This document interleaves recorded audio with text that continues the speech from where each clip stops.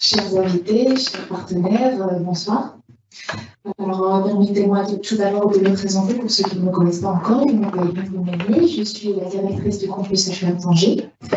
Je suis ravie de vous recevoir aujourd'hui et de vous voir euh, nombreux à la fois en présentiel mais aussi à distance en ligne euh, à répondre à notre invitation pour cette euh, conférence et cette rencontre qui parle d'un sujet qui nous tient à cœur, euh, la crise des conteneurs et en provenance de l'Asie et leur impact sur la logistique. Alors, selon les estimations de la conférence des Nations Unies sur le commerce et le développement, environ 90% des biens que nous consommons transitent par les mers. Et donc, euh, la pandémie du Covid-19, avec ses différentes vagues qui se sont succédées depuis 2020, a provoqué toutes sortes de déséquilibres dans la chaîne d'approvisionnement et les entreprises se trouvent face à des pénuries de matières premières, face à des retards de livraison et aussi des augmentations spectaculaires de la valeur des frais maritimes. Et les coûts logistiques bien entendu, se sont vus augmenter et atteindre des sommets avec des coûts euh, d'expédition qui se sont multipliés parfois fois 6. Et bien entendu, nous le constatons aujourd'hui, c'est le consommateur qui en paie le prix, le consommateur final. Alors, euh, comment expliquer tout cela? En, a tendance à pointer du doigt la crise des conteneurs, et euh, bien entendu, c'est le sujet de notre conférence aujourd'hui. Quel impact de cette crise sur le Maroc, sur notre activité économique? Combien de temps cette situation va-t-elle persister? Comment y remédier?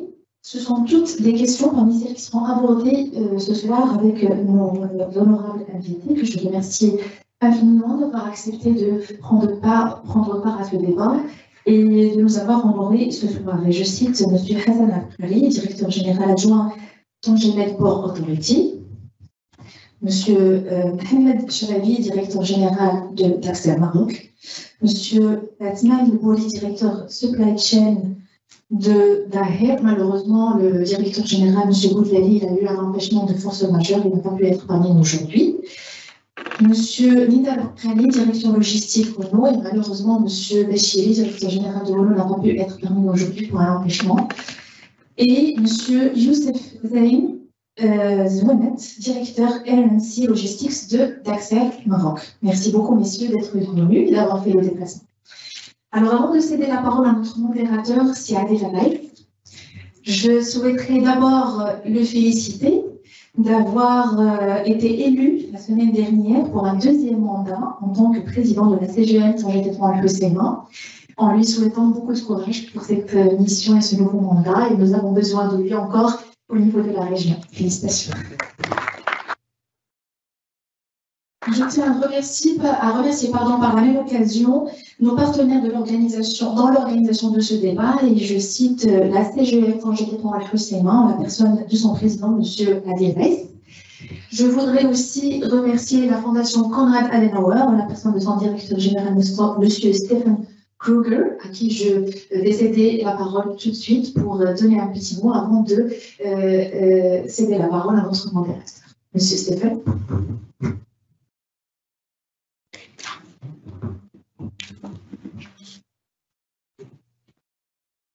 Merci, Madame. Monsieur le Président, chers distingués experts sur le panel, chers participants, chers participants, juste pour dire un petit mot sur la Fondation Konrad Adenauer. Nous sommes une ONG internationale qui est euh, représentée dans euh, plus de 100 euh, pays dans le monde et je suis le directeur de programme au Maroc. Nous nous occupons beaucoup de questions sur l'économie et le commerce. entre autres, nous travaillons aussi dans le domaine la participation civique, etc. Et on peut encourager quelques discussions et débats sur les thèmes économiques ici au Maroc, mais aussi, comme ça, le thème est très intéressant aussi pour euh, les commerces euh, internationaux euh, et régionaux. Donc voilà, merci pour votre attention, merci pour le mot et merci pour la discussion qui va venir. Merci beaucoup. Merci, monsieur. Alors, sans plus tarder, je vais céder la parole à notre cher modérateur, monsieur Adelès. Merci. merci beaucoup. Merci beaucoup, Hint. J'ai le plaisir de présenter ce panel de, professionnels de la logistique et, plus qui euh, essaieront de nous éclaircir et éclairer un peu la salle sur la problématique des conteneurs. Certainement, nous euh, vivons une période très spéciale. les économistes ont du travail à faire dans le sens où tout le monde croyait que la pandémie n'allait pas avoir des répercussions. malheureusement, la pandémie a des répercussions au-delà de, du problème sanitaire. Ce sont des problèmes réellement cruciaux, des problèmes aujourd'hui qui freinent l'économie mondiale et qui génèrent des, euh, des, dysfonctionnements majeurs au niveau des industries. Donc nous allons aujourd'hui parler de la problématique des conteneurs, mais ce n'est pas un problème de conteneurs et de prix, mais c'est un problème qui va au-delà de toute la logistique, de la logistique mondiale. On va essayer d'échanger avec nos euh, les, le panel des, présents pour essayer de comprendre un peu plus, un peu mieux ce qui se passe et surtout euh, voir un peu si cela va perdurer, ne va pas perdurer. Si on, essaiera un peu de, parler de, de, l'avenir, comment ça va se passer, mais comprendre pourquoi et l'origine du problème euh, des conteneurs jusqu'à maintenant. Donc, moi, je vais poser à, c'est Abkali, qui est directeur adjoint de pour Authority. Quel impact vous, gérez un peu les, le port, vous, voyez un peu la circulation des ports. Est-ce que le mouvement, est-ce que aujourd'hui, les partenaires que vous avez euh, euh, sur le, terminal, est-ce qu'ils euh, vous disent quelque chose? Est-ce qu'ils ont compris? Est-ce que vous êtes touché par un mouvement moindre? Est-ce qu'il y a moins de conteneurs? Quelle est la raison qui a fait naître cette problématique majeure? Qui est euh, l'augmentation des, des, coûts des conteneurs et la rareté des conteneurs, à votre avis? Merci, Cérès. Merci, Cérès. Bonjour à tous. Donc, effectivement, euh, le sujet des, des, de la hausse des tarifs de trafic conteneurisé, notamment entre l'Asie et l'Europe, l'Asie et les États-Unis, et même euh, l'Asie et l'Afrique, a connu enregistré une augmentation spectaculaire sur, euh, les 18 derniers mois. Euh, l'impact sur Tangemed est un peu mitigé dans la mesure où Tangemed est un port de transbordement, donc c'est un hub international qui est situé sur le West Med. Nous avons terminé l'année avec 7,1 millions de VP, ça veut dire que nous avons une croissance euh, fulgurante de presque 24%. Sur la croissance organique de trafic conteneurisé sur le West Med, qui représente à peu près 2,3 ou 2,4 millions entre 2020 et 2021, Tangemed a pu récupérer pratiquement 75%. Donc l'impact, comme je l'ai dit, sur, sur les tarifs de transport conteneurisé n'a pas impacté, n'a pas été réel sur le trafic propre du port Tangemed. Mais ça ne veut pas dire que l'économie nationale n'a pas été impactée pour autant. Donc Transgemed est une plateforme qui offre aujourd'hui un peu, un peu plus, je dirais, davantage concurrentiel par rapport aux plateformes concurrentes. Je cite les plateformes qui sont dans notre périmètre d'influence, notamment le port d'Algeciras, le port de Valence, le port de Barcelone, le port du Pirée en Grèce, le port de Giotoro en Italie. Et il se trouve que dans ces moments de crise, les armateurs vont regarder d'un peu plus près les détails de compétitivité de chacun des ports et les conditions opérationnelles qui vont leur permettre de faire des choix un peu plus pointus en termes de concentration de trafic. Et ils ont choisi, le fait est que, après le démarrage de Tangemet 2, ils ont choisi de concentrer beaucoup de trafic sur Tangemet. La croissance qui a été réalisée de 24%, qui est de l'ordre d'à peu près 1,7 euh, million d'une année à l'autre, en face, on a eu une baisse de trafic à Algérie. Ce n'est pas une augmentation qui a touché tous les ports d'influence de Tangemet. Mais Tangemet a eu cette, justement, pu tirer profit de la mise en service en début 2019 de Tangemet 2 avec une capacité très élevée, à peu près 5 millions de BP, sur un marché d'offres où les autres plateformes ou les autres ports concurrents n'étaient pas en mesure d'offrir aux armateurs assez d'espace et assez de capacité d'absorber les gros navires qui font des tirements d'eau de près de 16 mètres ou 17 mètres avec des longueurs de, 400 mètres. Donc, euh, en lui-même n'a pas été du tout impacté par ça. Maintenant, euh, sur le plan de, de l'import-export et de l'industrie, et notamment tout le trafic qui est généré pour l'arrière-pays, notamment le trafic industriel avec, euh, avec l'industrie automobile, notamment Renault, qui, je pense que le sujet va être bien expliqué du côté de Renault, mais je peux vous dire que nous avons déjà senti une baisse en termes de volume d'intrants industriels qui transitaient par le conteneur ou même par le camionnier, en raison d'une part de cette tension sur le conteneur, mais qui était plutôt euh, une faible justification de, ce qui s'est passé. Parce qu'il y a eu aussi un problème de, procurement au niveau des semi-conducteurs qui a fait que l'industrie aussi n'a pas pu produire suffisamment de composants pour faire des voitures. Donc ça a impacté non seulement l'industrie automobile, mais toutes les industries qui vont faire appel justement aux semi-conducteurs. Il y a eu la conjonction de plusieurs effets, les uns derrière les autres. Il y a eu le Covid avec la fermeture de plusieurs ports en Asie pendant des périodes assez longues, entre six jours et quelques semaines. Par exemple, pour le port de Ningbo qui a fermé ses portes pendant quelques semaines. Il y a eu des, des, phénomènes naturels aussi et des tempêtes violentes qui ont fait que la congestion a été créée au niveau des ports euh, chinois. Et au moment de la reprise, toute la marchandise est partie vers le continent américain. On a eu jusqu'à 60 unités en attente, 60 porte-conteneurs par exemple sur le port de Los Angeles qui attendaient les décharges. Et tout cela, c'est un cercle vicieux en fait qui a été créé et qui a contribué à, baisser le, trafic de conteneurs un peu partout dans le monde ou de freiner un peu sa croissance. Je reste, comme j'ai dit tout à l'heure, un hub, donc en tant que hub de transbordement, il n'a pas été impacté par, par tous ces phénomènes.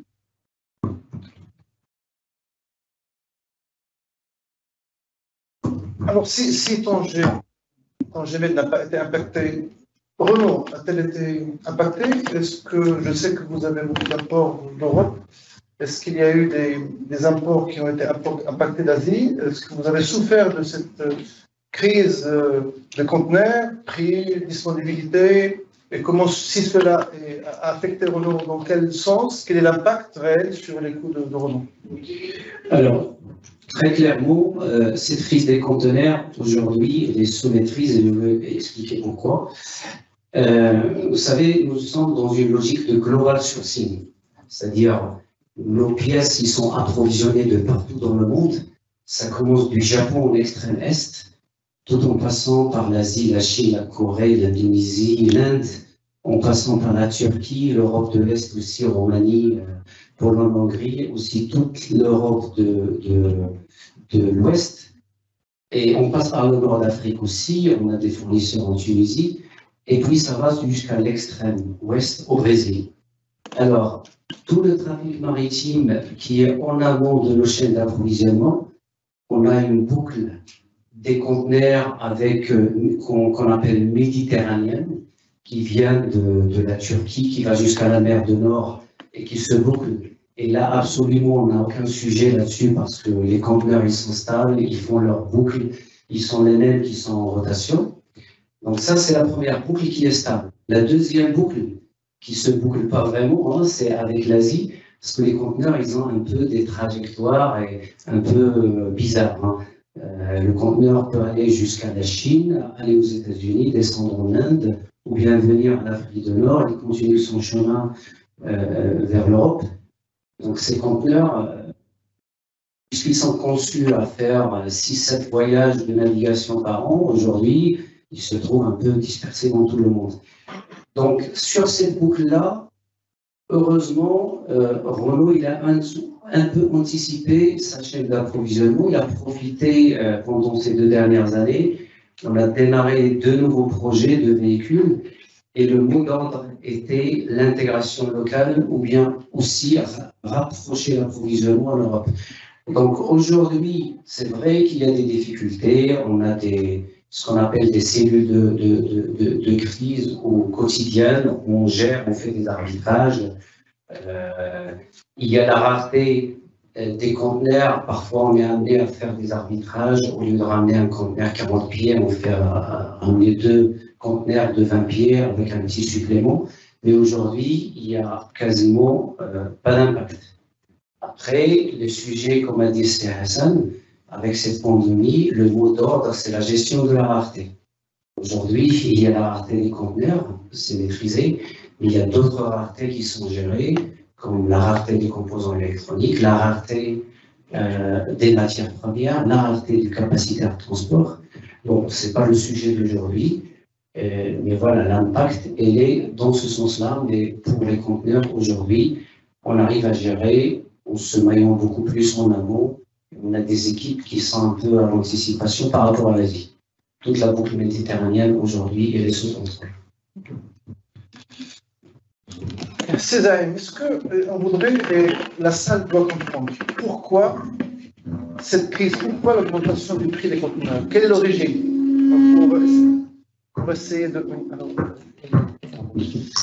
quelle est l'origine de la problématique des prix? Pourquoi? Tout le monde croyait que la, crise allait euh, arrêter la demande, allait arrêter l'activité et qu'on allait avoir une dépression des prix, mais on a eu le contraire. Quelle est l'origine à votre avis, de, cette euh, augmentation stratosphérique des prix des, conteneurs? Bon, bonsoir tout le monde. Effectivement, pour, euh, pour donner le éclaircissement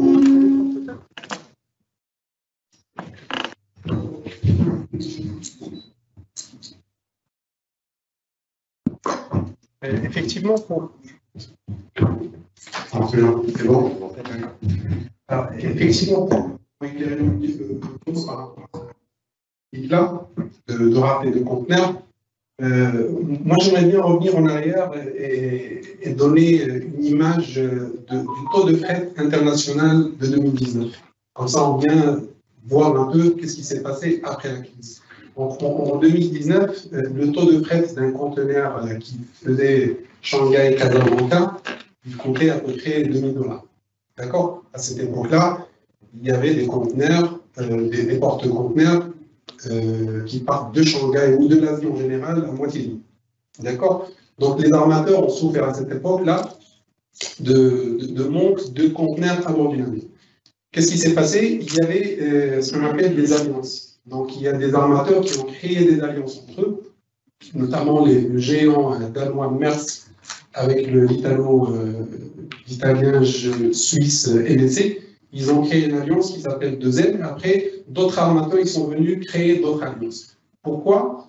Pour pallier à ce problème de, on va dire, d'espace qui était disponible.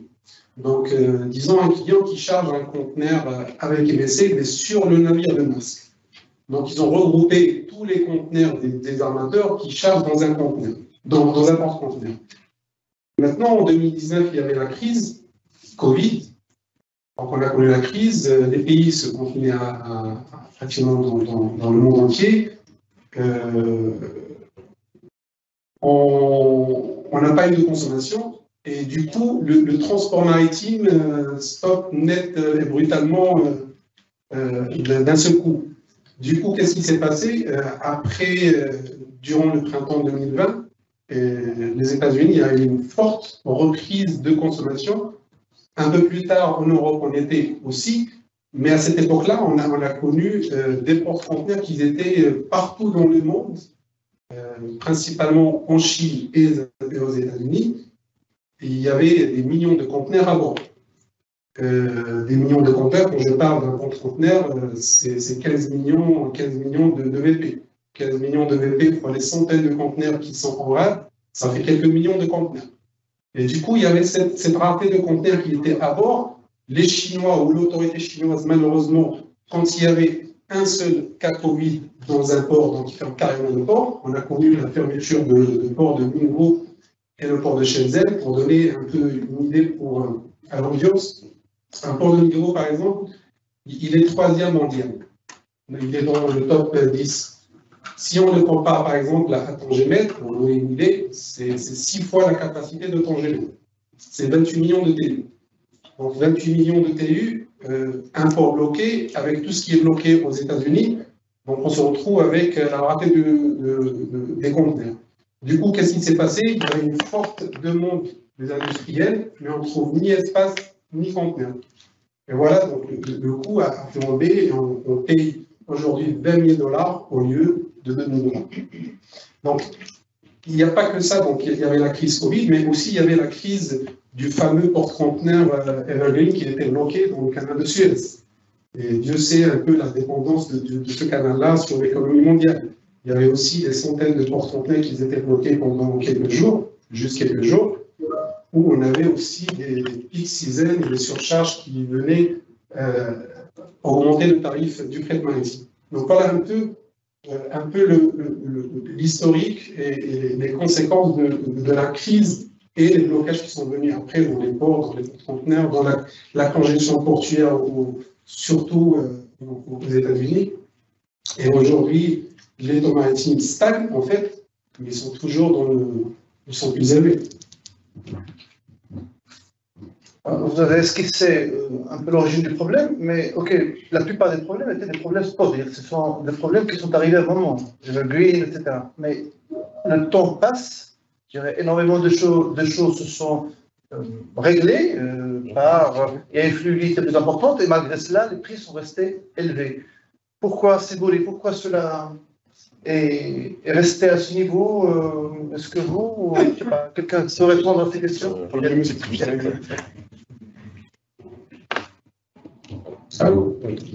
Alors, euh, effectivement, c'est une très bonne question. En fait, ce qui, s'est passé, c'est qu'il y a eu euh, un cumul de tout ça. Aujourd'hui, la, production est plus fluide, effectivement, mais euh, aujourd'hui, ce n'est pas le, la, la problématique, n'est même pas une problématique de tarif, c'est une problématique de disponibilité.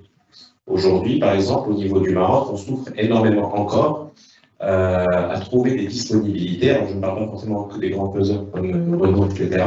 Mais on a tous les industriels marocains qui ont des problématiques à trouver la disponibilité sur les bateaux, notamment à l'export. Par exemple, pour les États-Unis. Alors, pourquoi c'est ça? Parce qu'on a encore une pénurie au niveau des, euh, des conteneurs vides. Pourquoi encore ça? Parce que beaucoup de conteneurs sont encore bloqués aux États-Unis ou en Europe et donc ne sont pas au bon endroit par rapport à la chaîne logistique initiale. Et ça, ça prend plusieurs mois, voire des années à rééquilibrer.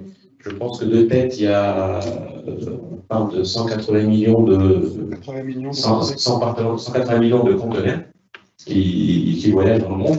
Une très grosse partie est encore bloquée aux États-Unis. Pour vous donner un, un ordre d'idée, aujourd'hui, euh, la situation va beaucoup mieux, mais dans des ports américains, on est monté jusqu'à 20 jours, 25 jours d'attente avant que le, con- le porte-conteneur ne soit déchargé. Alors imaginez que ces porte-conteneurs qui, qui mettaient 25 jours d'attente, normalement, sont sur la mer en faisant une traversée d'une trentaine de jours pour aller de port à port. Donc en fait, on, ça pouvait du jour au lendemain avec un besoin en capacité euh, du double. Parce qu'au lieu de passer 30 jours en mer, déchargement, repartir, ils vont passer 30 jours devant un port à attendre. Et en fait, pour résorber ça, ça prend énormément de temps. Si vous rajoutez à ça euh, le fait qu'on a été malheureusement l'impact euh, de la crise des conteneurs a énormément impacté les pays en voie de développement. L'Afrique, l'Amérique latine, etc. Quand vous prenez le taux de fret qui a augmenté, quand il a augmenté de x6, x7, notamment au Maroc sur certaines destinations, dans des pays euh, développés, les États-Unis et l'Europe, il a augmenté de 60%. Donc on est dans, dans, un, malheureusement, un déséquilibre total d'impact entre les pays en voie de développement et les pays dits riches. Donc en fait, aujourd'hui, eux sortent plus rapidement de cette crise-là parce qu'ils ont la disponibilité des conteneurs et les bateaux font de liaison entre euh, l'Asie notamment, les États-Unis, etc. Ce qu'il faut savoir, c'est qu'aujourd'hui, quand il y a le choix entre faire une liaison entre les États-Unis et la Chine, ou s'arrêter au Maroc, le bateau va aller aux États-Unis ou va aller en Europe. Donc forcément, aujourd'hui, ça vit mieux, les prix n'augmentent plus, ils stagnent, mais malheureusement, pour résorber ça, euh, on parle, je n'ai pas, pas de boule de cristal, et malheureusement, celui qui vous dit savoir comment ça va évoluer, euh, je pense qu'il y a, personne qui, est capable de vous dire ça, mais on est au moins sur une stagnation sur euh, 2022, voire 2023, avant de rebaisser, euh, avant de rebaisser un petit peu. Et, à rajouter sur, les causes initiales aussi, c'est quand il y a eu la fermeture de la totalité du monde, en quand tout le monde était confiné, euh, il y a des bateaux qui ont été mis au rebut.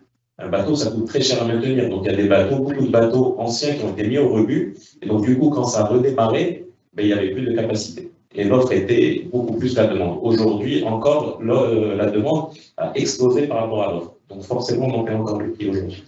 Mais euh, une, une question. Aujourd'hui, on voit qu'il y a un certain nombre de problèmes qui ont été réglés, Mhm. mais reste le- la problématique des conteneurs vides euh, qui restent sur euh, différents ports.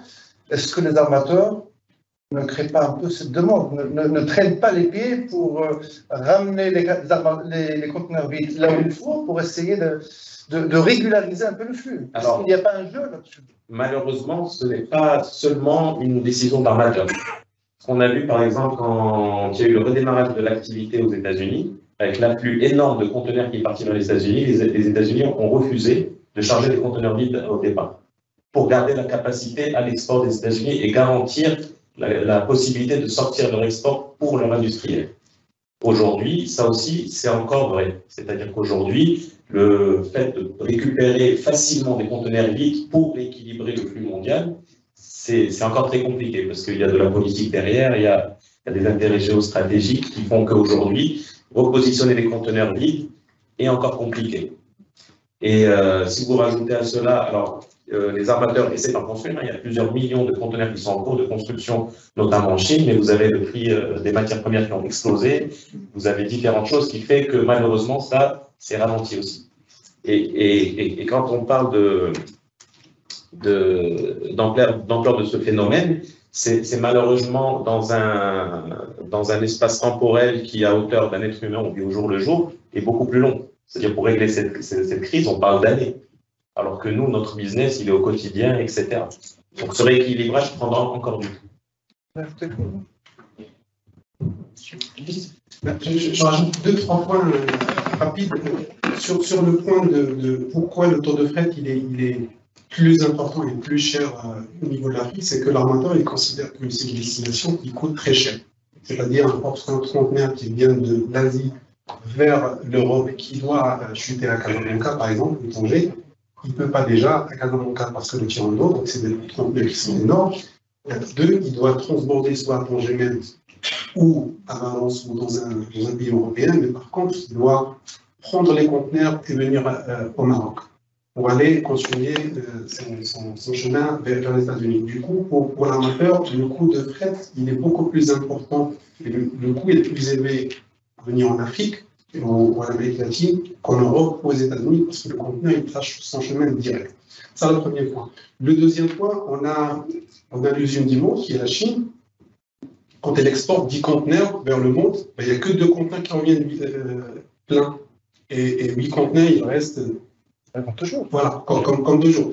Par contre, aujourd'hui, les armateurs, c'est là qu'ils gagnent de l'argent, mais, il faut savoir qu'aujourd'hui, l'industriel partout dans le monde, il paye le, le- le fret, mais il paye l'aller-retour. Ça veut dire qu'il paye son, import, mais il paye aussi le retour vide du rajouter.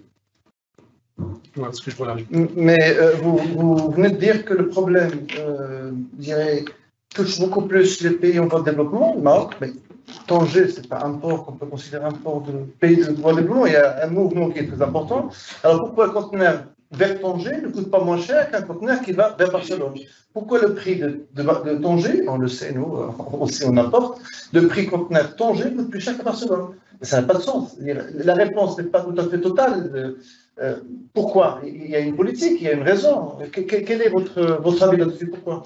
Pourquoi Tanger, le conteneur ne coûte pas moins cher qu'en Barcelone? Bon, je- je, je pense que Med aujourd'hui, il sert, à, comme il a dit, euh,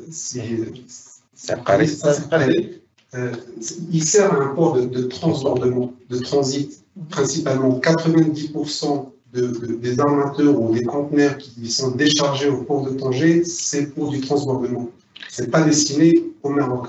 Maintenant, effectivement, est-ce que l'industriel qui est à Marrakech, il va utiliser Tanger? Ça, c'est une question. Et il y a aussi, et, il y a aussi autre chose, pour vous donner un exemple, alors, on n'est pas armateur, on se permet juste de vous donner, de vous notre, lecture. Euh, il, y y a aussi autre chose, vous, prenez par exemple là, lors de, la fin de l'année chinoise, du nouvel an chinois, euh, la plupart des compagnies qui s'arrêtaient au Maroc ne s'arrêtent plus. Il n'y a qu'une seule compagnie qui a décidé de continuer à s'arrêter au Maroc. Si vous vouliez faire un import, ça devait être transbordé ailleurs pour redescendre. Donc forcément, ça vous rajoute des coûts sur ce genre de choses. On demandera après à, mon ami euh, Hassan, est-ce que le port ne s'est pas trompé de stratégie, un port de, de transbordement, donc ça sert les autres, mais pas le Maroc. On verra après ça, euh, selon la, la réponse vous avez donnée. Oui, c'est Boulé. Euh, L'impact sur la chaîne logistique de tout cela, euh, à part l'impact de prix, sur est-ce que réellement l'entreprise vit euh, difficilement cette, euh, cette euh, anomalie majeure qui, est- une augmentation faramineuse des prix, est-ce qu'elle touche la chaîne logistique? De quelle manière? Et cela, quel impact a sur les prix de- des produits que nous consommons tous? Parce que euh, réellement, euh, à la fin de la chaîne, le transport, c'est un élément de coût. En quoi cela, cela touche le, le prix et le consommateur? Bonjour à tous et à toutes. Tout d'abord, je voulais remercier HM pour l'invitation pour ce débat, euh, qui est aujourd'hui pour moi le nerf de guerre de tous les industriels euh, dans le monde. Euh, aujourd'hui, donc, nous, derrière Aerospace, on est fournisseur de rang 1 de plusieurs avionneurs, y compris Airbus, Comac, l'avionneur chinois, Mitsubishi et d'autres avionneurs. Nous, n'est pas impacté, on va dire, directement, mais indirectement. Aujourd'hui, 95% de nos fournisseurs se trouvent en Europe, mais que leurs fournisseurs se trouvent en Asie ou aux États-Unis. Ils importent de la matière, soit de la Chine, que ce soit des États-Unis. Aujourd'hui, euh, les conséquences de ce problème de conteneur, ce problème de, de- de prix de transport, c'est aussi qu'on n'arrive plus à avoir de la matière. Des composants, pas plus, que, tard que, que cette semaine, on a à peu près une 40 personnes qui sont, ils n'ont pas de matière aujourd'hui pour produire, et à cause de pénurie de matière. Euh, aujourd'hui, on est passé à autre chose, c'est-à-dire qu'aujourd'hui, on demande à nos fournisseurs de livrer en avion et plus en bateau. Parce qu'on ne peut pas se permettre d'attendre 3 à 4 semaines de, temps de transit. Euh, des coûts qui sont exorbitants, mais aujourd'hui que nos donneurs d'ordre ne veulent pas aussi comprendre, et eux, ils ont aussi des contraintes avec leurs clients et des prix d'avion qui ne pas remonter. Aujourd'hui, on se bat régulièrement avec nos fournisseurs pour essayer d'avoir la matière à temps. Euh, ce qui est arrivé automobile avec les pièces électroniques, aujourd'hui, nous, aujourd'hui, on le vit. Sur 2020-2021, c'est un peu plus calme, euh, vu que vous connaissez, que la, partie, toute la partie aéronautique était un peu plus calme, avec le tourisme qui était en plus calme. Aujourd'hui, la demande est beaucoup plus forte que ce qu'on pensait. Ne pensait pas qu'on arrivait à cette euh, situation de forte demande?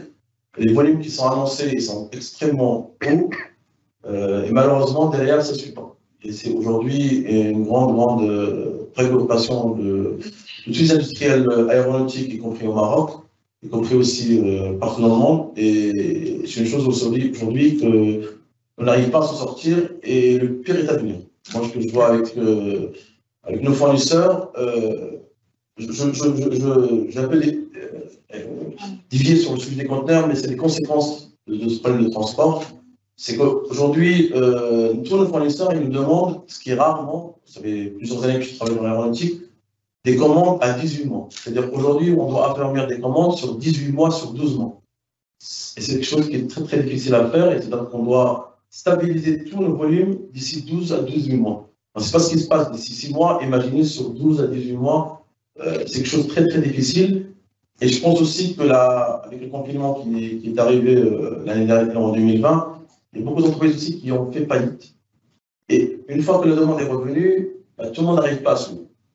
Et, et malheureusement, je ne veux pas être pessimiste, mais malheureusement, 2020-2023 va être très très compliqué pour tout le monde. C'est-à-dire la demande, elle est là, mais pour produire, il n'y a, a pas les composants. Et je ne sais pas comment on va s'en sortir. Donc, on continue à avoir une crise de l'offre. Oui. Ok, d'accord.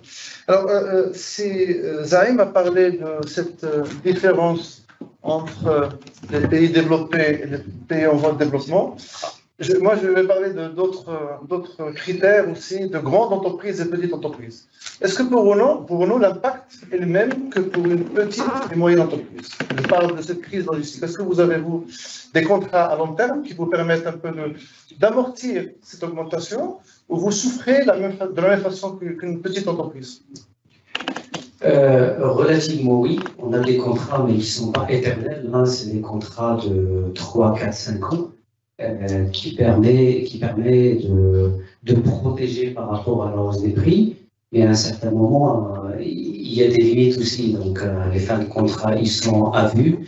Et au moment de renouvellement, forcément, il y a un, nouveau processus de, négociation en fonction du contexte mondial.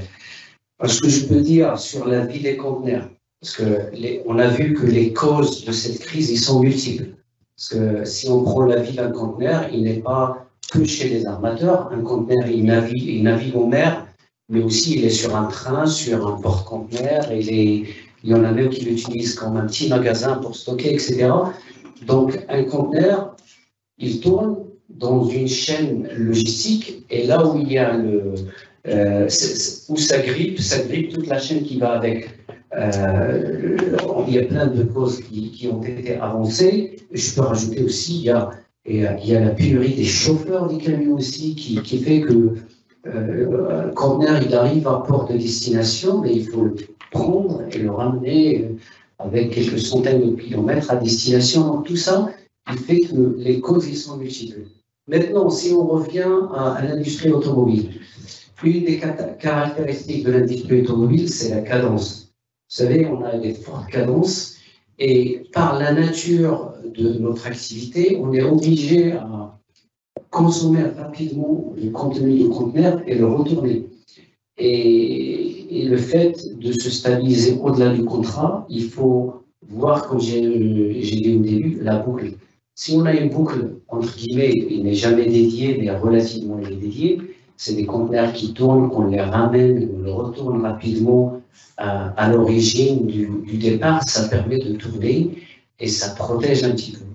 Après, c'est vrai, euh, on a des, des forces de frappe et de lobbying beaucoup plus fortes. hein, on est, on est supporté par des équipes qui sont euh, dans le groupe, qui, des spécialistes qui font que ça. Donc il y a un, un maillage beaucoup en amont qui permet euh, qui permettent d'anticiper. Il y a aussi des systèmes d'information qui permettent de faire des calculs, etc., qui ne sont pas de taille humaine, qui permettent un peu d'anticiper et d'aller négocier euh, un peu plus fortement en utilisant la taille des groupes, si on peut prendre des grands groupes.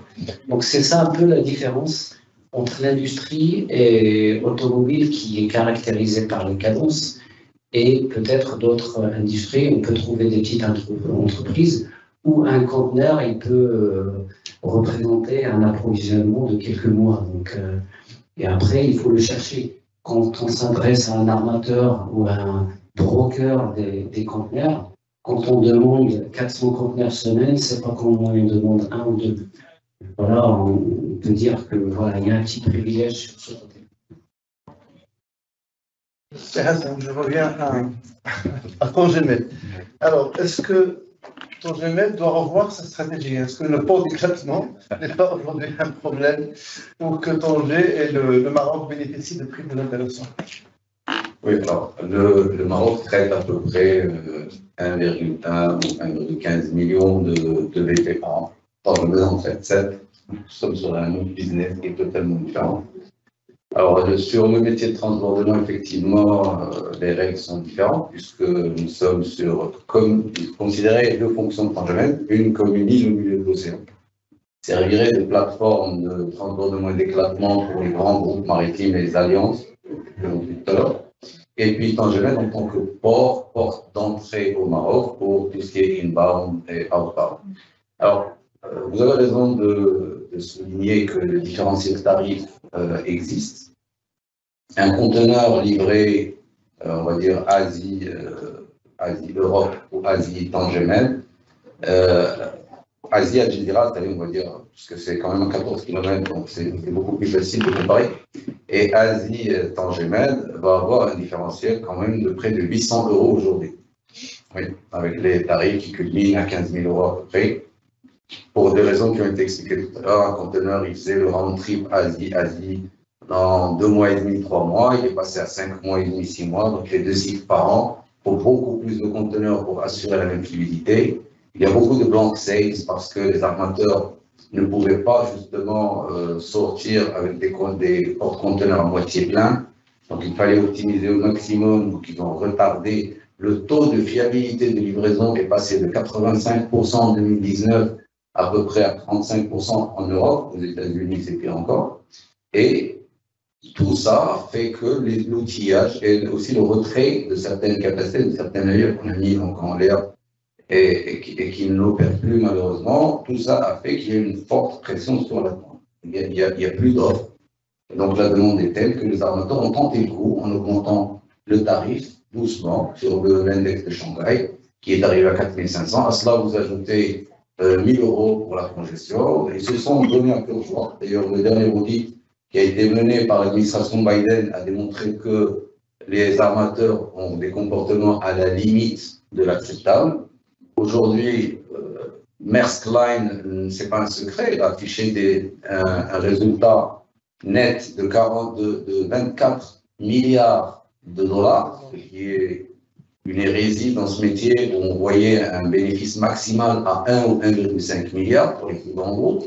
Donc on voit que les armateurs ont goûté au prix défendu. Ils vont faire leur plaisir, c'est certain.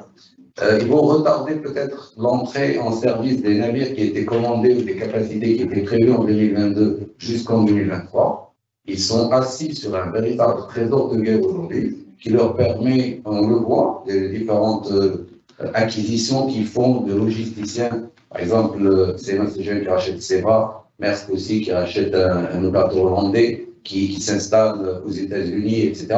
Et on voit que la peur d'être avalé par un géant comme Amazon ou comme Alibaba, qui lui peut s'acheter une compagnie aérienne euh, d'une simple décision, parce que les- leur chiffre d'affaires est pratiquement 100 fois en termes de cash flow par rapport à un géant commerce, là aujourd'hui ils sont en train de se mettre à l'abri.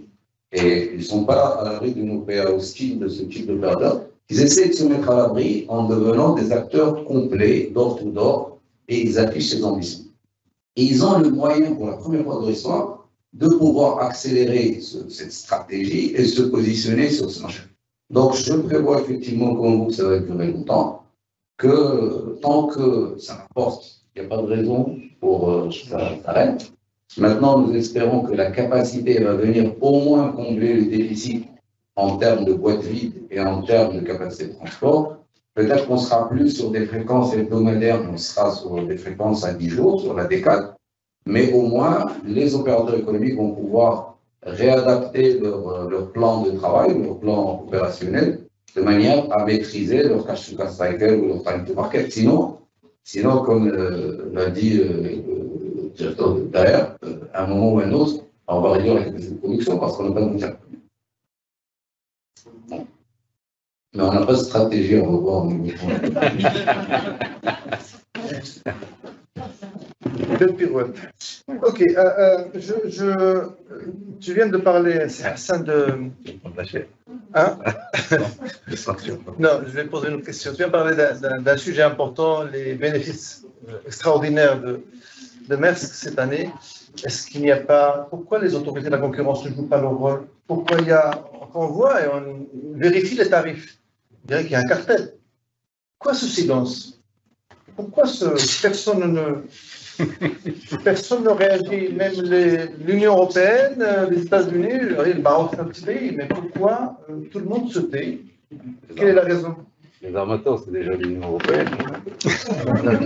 Je sais pas, je- Je, je,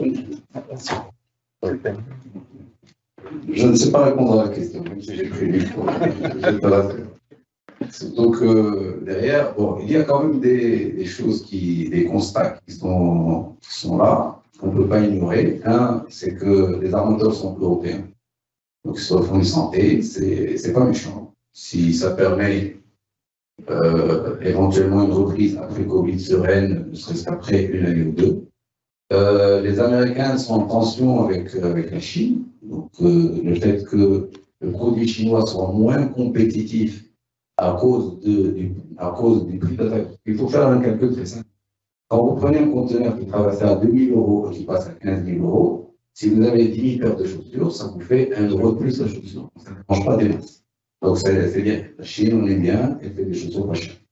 Si vous passez au frigo, ça vous fait 300 euros ou 400 euros de frigo. Et vous regrettez de ne pas avoir acheté le frigo en 2019. Donc, quelque part, ça, arrange un peu les économies des, pays développés qui gardent, eux, le moyen de faire pression sur les amateurs pour baisser le coût, d'où le différentiel la. En fait, en termes de coût opérationnel, il n'y a pas de différence. C'est des kilomètres en mer. C'est une consommation, euh, de possession de navire, coût de possession du navire, et vous devez être termes de traversée, avec la qualité des ports qu'on arrive à mettre nous aussi euh, sur le marché, on devrait être sur le même tas. Logiquement, il n'y a absolument aucun secret. Vous reprenez des conteneurs vides au départ des États-Unis vers la Chine, vous reprenez des conteneurs vides au départ de l'Afrique vers la Chine. Le ratio pourrait être de 10%, mais ce n'est pas la différence de taille qu'on voit aujourd'hui. La différence, elle est faramineux. Donc, ils gardent quand même, ils ont les possibilités de pouvoir négocier sur le volume et de négocier les plats d'autres intérêts qu'ils partagent, par exemple, notamment l'autorisation d'automatiser certains terminaux pour Maersk Line ou APM, terminal sur le territoire américain. Il y a des deals qui se font et qui permettent de maintenir ce statu quo. Donc ça intéresse un peu tout le monde. Nous sommes un peu le parent pauvre qui, qui, lui, euh, bon, va payer, voir le jusqu'à la vie. Euh, L'alternative, c'est de pouvoir mettre en cohérence la stratégie portuaire marocaine avec une stratégie marocaine, avec une stratégie maritime qui nous doterait des moyens d'autonomie pour pouvoir accompagner le développement de nos industries petites. Et c'est là où la réflexion se pose. Je, rebondis sur la question. Est-ce que cette vision de nous doter de moyens propres, est-ce qu'elle est réaliste? Est-ce que le Maroc peut avoir des armateurs peuvent concurrencer ces géants qui euh, aujourd'hui absorbent les petits Est-ce que le Maroc, est-ce que réellement c'est, réaliste de, de, faire croire qu'on peut nous créer une, une industrie euh, de, de, cette dimension qui peut régler le problème au niveau du Maroc? Alors, euh, je, pense qu'effectivement, créer un armateur qui irait euh, concurrencer Merckx, etc., je pense c'est à notre taille. Maintenant, il y a des petites choses qui peuvent être faites, effectivement, sur certaines lignes, euh, où, on peut avoir quelques acteurs euh, marocains. Euh, maintenant, je rebondirai sur ce qu'a dit Sarah parce que sa lecture est tout à fait correcte, je trouve, de, ce qui se passe et pourquoi les prix continuent de flamber. Et il y a, maintenant aussi ce qu'il faut voir, c'est qu'est-ce que le Maroc peut en tirer. Parce que quelque part, le Maroc aujourd'hui, de sa proximité avec l'Europe, peut bénéficier de ces prix hauts. Et on le voit dans certains secteurs d'activité pour lesquels on travaille aujourd'hui. On voit une tendance à euh, mener des études à la relocalisation de certaines industries ou d'une partie de la production vers des pays du pourtour méditerranéen pour ne plus avoir à subir de plein fouet cette augmentation des taux de fret. Alors, il y, a, il y, a, des mouvements de production depuis l'Asie vers la Turquie, le Maroc et, euh, et, la Tunisie. Et le Maroc a réellement sa carte à jouer en, parce qu'on est même les plus proches de l'Europe. Aujourd'hui, en 24 heures, on séduirait euh, l'Espagne, en 48 heures la France, etc. etc. Aujourd'hui, on a des exemples concrets euh, de boîtes marocaines qui vendent sur le web en Europe, où la préparation de commandes se fait à Marrakech et on livre le consommateur final en France en 72 heures. Donc, je pense que le Maroc a effectivement des cartes à jouer. Il ne faut pas s'aventurer sur des choses euh, qu'on ne saura pas faire de toute façon, de par la taille de notre pays, de la taille de notre industrie. Mais par contre, on a réellement quelque chose à faire de par notre proximité vis-à-vis de l'Europe.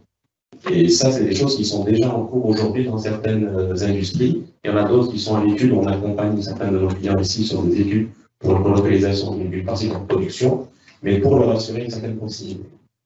Est-ce que Renault pousse cette relocalisation en raison de ces problèmes logistiques, ce problème de coût de conteneurs euh. Tout à fait, fortement. Euh, vous savez, euh, on est même euh, sponsorisé par le Royaume On a, on a signé des conventions, c'est un engagement même, pour aller vers des, des écosystèmes qui ne cessent de progresser. Et on est censé d'avoir des taux d'intégration locale à un niveau de 80% avec les points d'étape. Donc, il n'y a que de bénéfices par l'intégration locale. Je ne parle pas sur le plan financier, forex, etc., mais aussi sur le plan opérationnel, euh, que des bénéfices avec des baisses des coûts, euh, plus de compétitivité et tout ce qui va du social, les bassins d'emploi, etc. Donc oui, on est dedans, on a des, task force un peu dédiées pour ça, et même euh, c'est des choses très officielles avec le gouvernement marocain. Si vous permettez, je reviens sur euh, est-ce que le Maroc est capable d'avoir un, armateur euh, de taille? Moi, je dis oui. Nous sommes un pays marin. On a plus que 2500 km de côte, ce n'est pas suffisant. L'industrie est très capitalistique, euh, mais quand on, entend des chiffres comme Maersk, il y a un chiffre d'affaires de 25 milliards de dollars ou bien d'euros, euh, moi, je pense qu'il faut une volonté euh, politique pour faire ça. Et pourquoi pas On a pour le savoir, on a nos jeunes aujourd'hui, on a des écoles, on a des formateurs. C'est vrai, il y a le savoir-faire. On ne va pas concurrencer tout de suite avec des compagnies qui ont des dizaines d'années d'expérience, mais il faut commencer. Il faut commencer et pourquoi pas, encore une fois, nous sommes dans une position stratégique. Euh, vous avez parlé d'Europe, mais les États-Unis, il est, c'est à travers à 7 jours. A 7 jours de, navigation. On est dans une position un peu au carrefour du monde. C'est vrai, c'est notre vision à partir de notre position. Très clairement, on peut le faire. On peut le faire. Maintenant, sur ces problématiques de conteneurs, c'est vrai, il y a la dictature des, excusez-moi du terme, des armateurs face à cette problématique. Je ne sais pas comment ça va se régler. Est-ce que juste par un simple rééquilibrage de la dispersion des conteneurs à travers du monde, est-ce que j'ai compris, ça va demander un peu plus de temps Est-ce que c'est du capacitaire supplémentaire qu'il faut injecter? Moi, j'ai entendu 140 euh, millions de conteneurs. Ça fait un conteneur pour 50 personnes à travers le monde. Peut-être il faut voilà, il y a une industrie qui de l'avenir devant elle, c'est la construction des conteneurs aussi. Donc, euh, très clairement, euh, voilà, je, je, fais confiance à l'intelligence collective de ce monde à résoudre ce problème dans un temps, on ne sait pas quel est le délai, c'est juste une question de timing.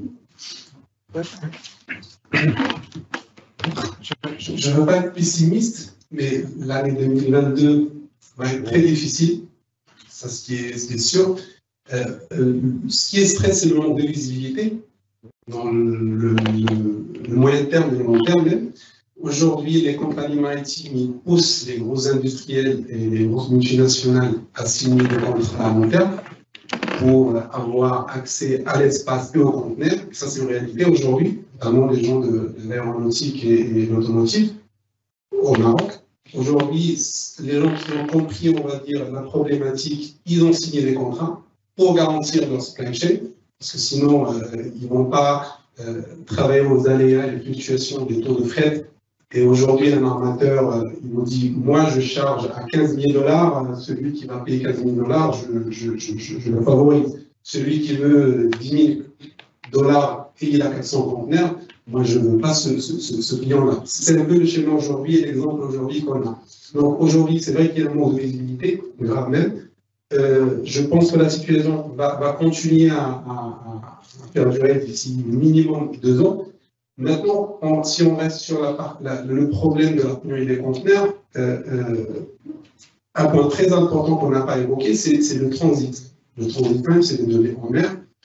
Avant, la moyenne, on va dire, de délai en mer entre la Chine et, l'Afrique, ou l'Europe, c'était à peu près 32 à 35 jours. D'accord En Europe. C'est à peu près ça le transit. Aujourd'hui, avec toutes ces problématiques qu'on a, le manque d'espace, les omissions de, navires, les annulations de départ, le temps en mer, la congestion, on arrive à, expédier un conteneur en 4, 5, 6 mois parfait. Donc, d'où la problématique de ce manque de, de, conteneurs qui est censé faire euh, 32 jours, aujourd'hui il fait 6 mois. C'est vrai que les compagnies maritimes, ils ont injecté, ils ont fabriqué plus de conteneurs, mais ils vont les mettre où? Et à bord de quel navire? Parce que les navires d'aujourd'hui, ils sont, ils sont pleins. Maintenant, la construction d'un navire, c'est deux ans, trois ans minimum. Et comme, comme vous l'avez cité, un armateur, il ne va pas tout de suite mettre en place un porte-conteneur parce qu'il gagne ça. 25 000 de, dollars, 25 000 milliards de dollars, c'est pas du chiffre d'affaires, mais c'est du bénéfice net. C'est vrai que les armateurs aujourd'hui, ils ne vont pas lâcher l'affaire, ils vont continuer à gagner de l'argent comme ils le font aujourd'hui. Et c'est eux qui, je veux dire eux, mais la, la, décision, je pense, c'est des politiques plutôt que chez l'armateur. Maintenant, sur la question de euh, est-ce qu'on peut lancer euh, une, compagnie maritime locale, moi je, prends juste la partie, euh, nous on est un pays d'agriculture. Et on dépend beaucoup, beaucoup même de, l'armateur, Merck, MSC, APAC, qui sortent de, de, vers, vers, principalement l'Europe. On n'a pas la capacité de mettre un seul navire qui garantisse la livraison de, nos fruits et légumes vers l'Europe. Donc, si on n'a pas un Merck, un MSC, un, un on ne va pas le faire, malheureusement. Il y avait à l'époque Comatir, il y avait Comanab, malheureusement, ils se sont absorbés par, par les géants. Mais moi, si je prends juste cette partie-là, si demain il y a une décision politique de lancer un armateur qui fait que la partie agriculture, on commence par là, je pense que ça va être, ça va être euh, Pour être précis, vous avez parlé tout à l'heure un, problème de, conteneurs qui sont répartis, mais un problème de conteneurs, un problème de navires. Il n'y a pas de capacité donc il y, a, il y, a, un problème de navire, il y a un problème de conteneurs, il n'y a pas de capacité, effectivement. Et euh, je ne sais pas, si je pense que il y a aussi euh, une volonté des euh, politiques européennes ou, américaines, etc., qui fait qu'aujourd'hui, cette situation est maintenue pour d'autres raisons que des raisons purement et simplement conteneurs ou, ou capacité maritime.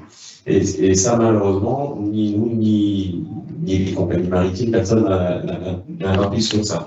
Maintenant, je voudrais rester quand même sur un, mais ça c'est positif parce que je vous rejoins tout à fait. Euh, moi, je pense que pendant cette période de Covid, le Maroc avait fait preuve d'une agilité incroyable, à laquelle personnellement je ne m'attendais pas euh, avec une telle ampleur. Aujourd'hui, le Maroc bénéficie d'accords de, libre-échange avec beaucoup de pays, beaucoup d'entités dans le monde. On est idéalement placé. Donc, ce qui est clair, c'est qu'on on a beaucoup d'atouts pour tirer de cette crise du conteneur et des tarifs du conteneur, on a beaucoup d'atouts pour en sortir par le haut. Alors il faut de la volonté politique, certainement, il faut beaucoup de choses, mais je pense qu'il y a une réelle opportunité, une fenêtre de tir pour le Maroc qui est non négligeable et qu'il faut qu'on saisisse. Question générale, je ne sais pas qui va répondre. Quel est l'impact sur la croissance mondiale? Quel est l'impact sur l'économie marocaine? De cette problématique de, prix conteneur et rareté et difficulté à avoir la marchandise à, Attends, Est-ce que nous allons vivre une, période où encore la croissance va faiblir? Est-ce que le Maroc va être handicapé parce qu'il n'aura pas les matières premières pour fabriquer? Renault euh, ou toute industrie qui est installée au Maroc. Quel est l'avenir? Comment vous voyez ça?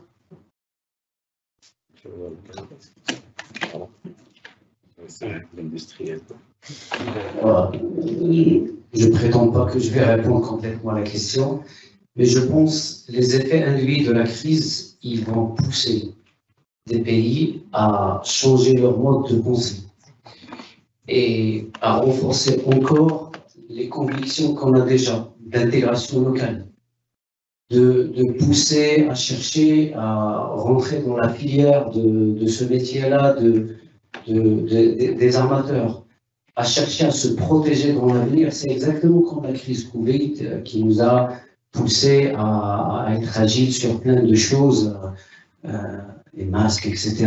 Donc on a vu que le Maroc quand même il est sorti par l'eau sur cette crise.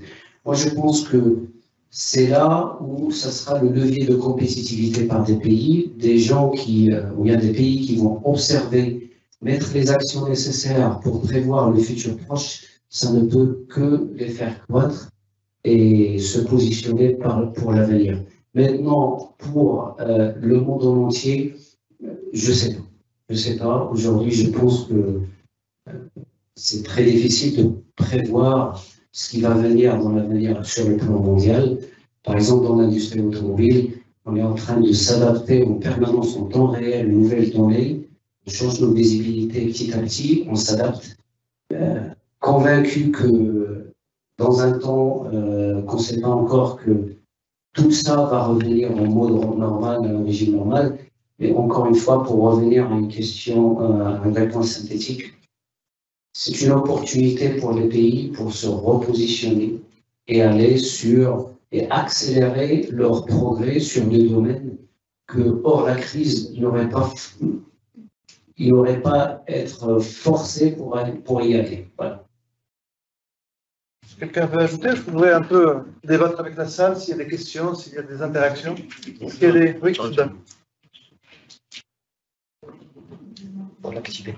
Je vais juste prendre le risque de répondre à la question. Oui. Je vois les autorités de concurrence qui, qui s'en calment sur le sujet?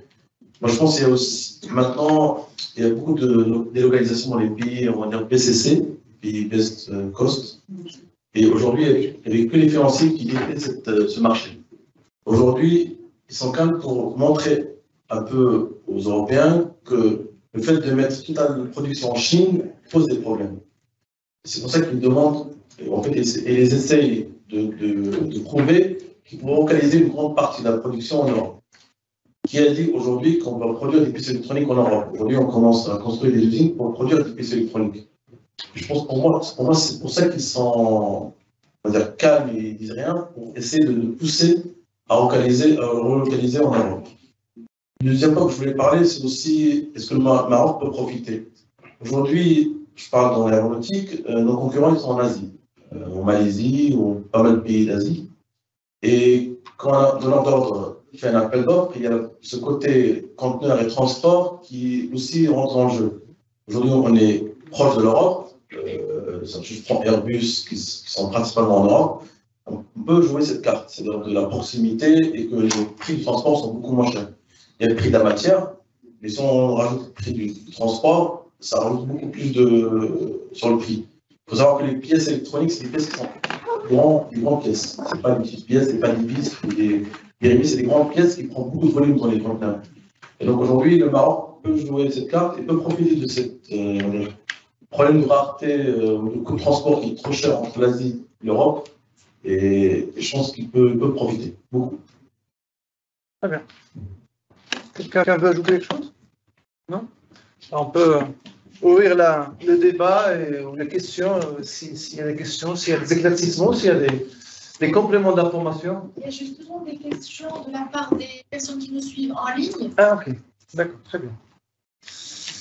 Et aussi, on peut interagir avec la salle aussi. Très bien. Je, je- la première question de Simoulet. Euh, Est-ce que l'incertitude sur l'évolution des prix du fret, du retour du vide et de la congestion des ports pourrait aboutir à un déménagement à grande échelle de l'industrie asiatique vers le pays à proximité de l'Europe comme le Maroc? Je crois qu'on a répondu déjà, c'est une opportunité. Mais je, je pense, Sur ce point-là, délocaliser euh, euh, l'industrie en Europe ou en Afrique, je pense que ça va prendre euh, quelques années. C'est pas l'ordre du jour. Il y en a qui ont commencé déjà, mais je pense que ça va prendre euh, minimum euh, 3 ans à 4 ans. Alors, ok. Une- autre question, et je crois qu'on a répondu de façon indirecte. Quand est-ce qu'on pense que, quand est-ce que vous pensez que l'équilibre pourrait être atteint pour qu'on revienne à une situation normale? On dit l'heure, je ne veux pas être pessimiste, c'est encore. euh, personne ne pourra vous dire aujourd'hui qu'est-ce que va être la situation demain. Donc, euh, on, a, on est parti pour euh, minimum 2 ans, 4 ans. euh, avec la même situation, peut-être en 2023, c'est- c'est les signaux vont être à la baisse, mais une baisse de 15-20%. Mais on ne va pas revenir à la normale de 2019-2018, ça c'est l'époque, c'est derrière nous. Euh, Question 3, anonyme. Mais la, la question a un intérêt parce que nous avons parlé un peu de comment faire face, euh, armateur marocain, etc., etc. Mais la question, faut-il développer des productions en interne euh, euh, Comment retravailler les chaînes logistiques? Est-ce que les chaînes logistiques peuvent s'adapter? Je ne parle pas de la rareté. Est-ce que les chaînes logistiques peuvent s'adapter à ce coût excessif ou exorbitant des, des, des, des, des prix conteneurs. Est-ce que c'est possible? Oui, bien sûr.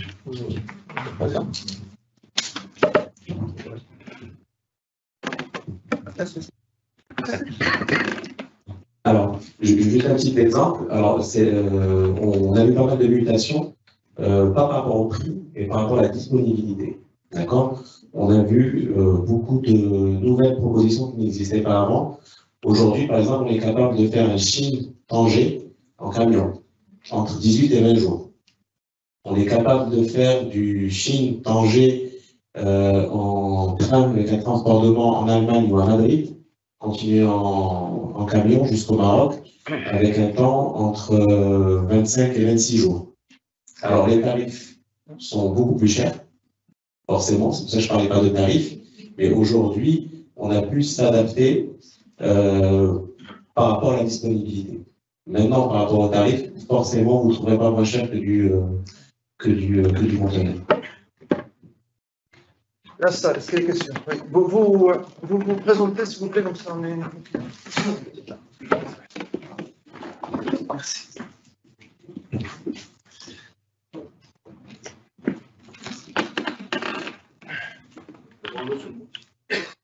faut qu'il soit éteint. La lumière est éteinte. La lumière est éteinte. Appuyez. Bonjour, euh, Ilyes Chouvelli, je suis flex forwarder et consultant maritime portuaire. Alors, euh, j'allais euh, j'allais, euh, enrichir notre petite expérience, un témoignage, c'est notre petite expérience durant ce Covid. On était euh, impactés, bien sûr, par la non-disponibilité des conteneurs, surtout de la Chine, d'Inde, de l'Afrique, et également les prix qui étaient. Mais ça, ça nous a poussé à innover, voilà.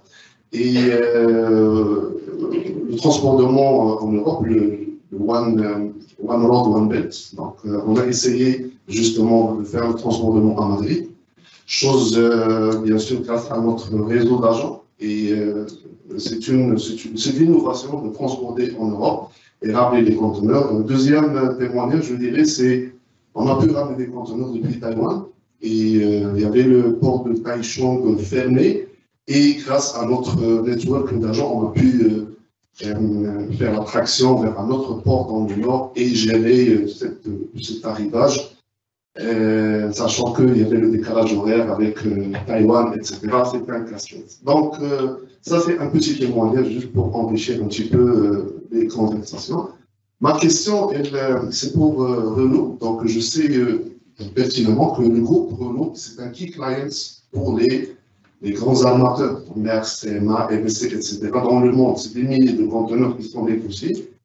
Et du coup, ils n'ont pas un problème de disponibilité en quelque sorte, ou bien de capacité. Mais est-ce que vous n'avez pas réfléchi durant cette crise à mettre en place vos propres shippers en container, à l'instar d'autres d'autres shippers Prends l'exemple, par exemple, de Siemens, Total, etc c'est des chiffres rencontrés. Il y a des contraintes, mais c'est euh, de, de, de, capitaliser sur cette euh, force de frappe, de frappe que vous avez et négocier avec les lignes maritimes ces, euh, ces possibilités d'avoir vos propres conteneurs.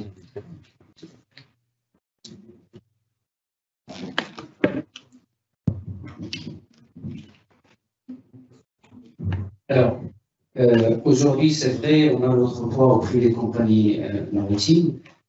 Euh, après, très clairement, sur nos chaînes logistiques, le camion reste le moyen le plus prépondérant dans nos chaînes, hein, partout où on va, surtout au Maroc. Aujourd'hui, comme on a expliqué, heureusement tout à l'heure, quand j'ai expliqué toute notre cartographie d'approvisionnement, euh, il faut que je salue tout le travail qui a été fait entre le démarrage, parce qu'aujourd'hui on a 10 ans de vie euh, au Maroc. Euh, je parle de l'usine des Rhônes étrangers, parce qu'il y a l'autre usine Somaca qui est beaucoup plus historique dans le pays. Et le chemin, il est extraordinaire. hein. Le réseau, bien le panel des fournisseurs au Maroc, il est passé de 13 au démarrage jusqu'à jusqu'à 70. Donc, la stratégie, c'est ça c'est une concentration sur le métier automobile. Et puis, euh, aujourd'hui, cette activité est sous-traitée. euh, je ne pense pas qu'on ait un seuil critique aujourd'hui avec beaucoup d'impact pour aller à faire une intégration verticale par rapport à ça. Euh, aujourd'hui, les conteneurs, comme j'ai expliqué au début, il n'a pas encore d'impact, donc on n'est pas encore arrivé à ce point de se dédier les conteneurs et de pratiquement on les a dans la boucle méditerranéenne, on les a. On a des liners, euh, on a les gros liners, mais on travaille aussi avec des, liners un peu moyens, hein, comme Arcas.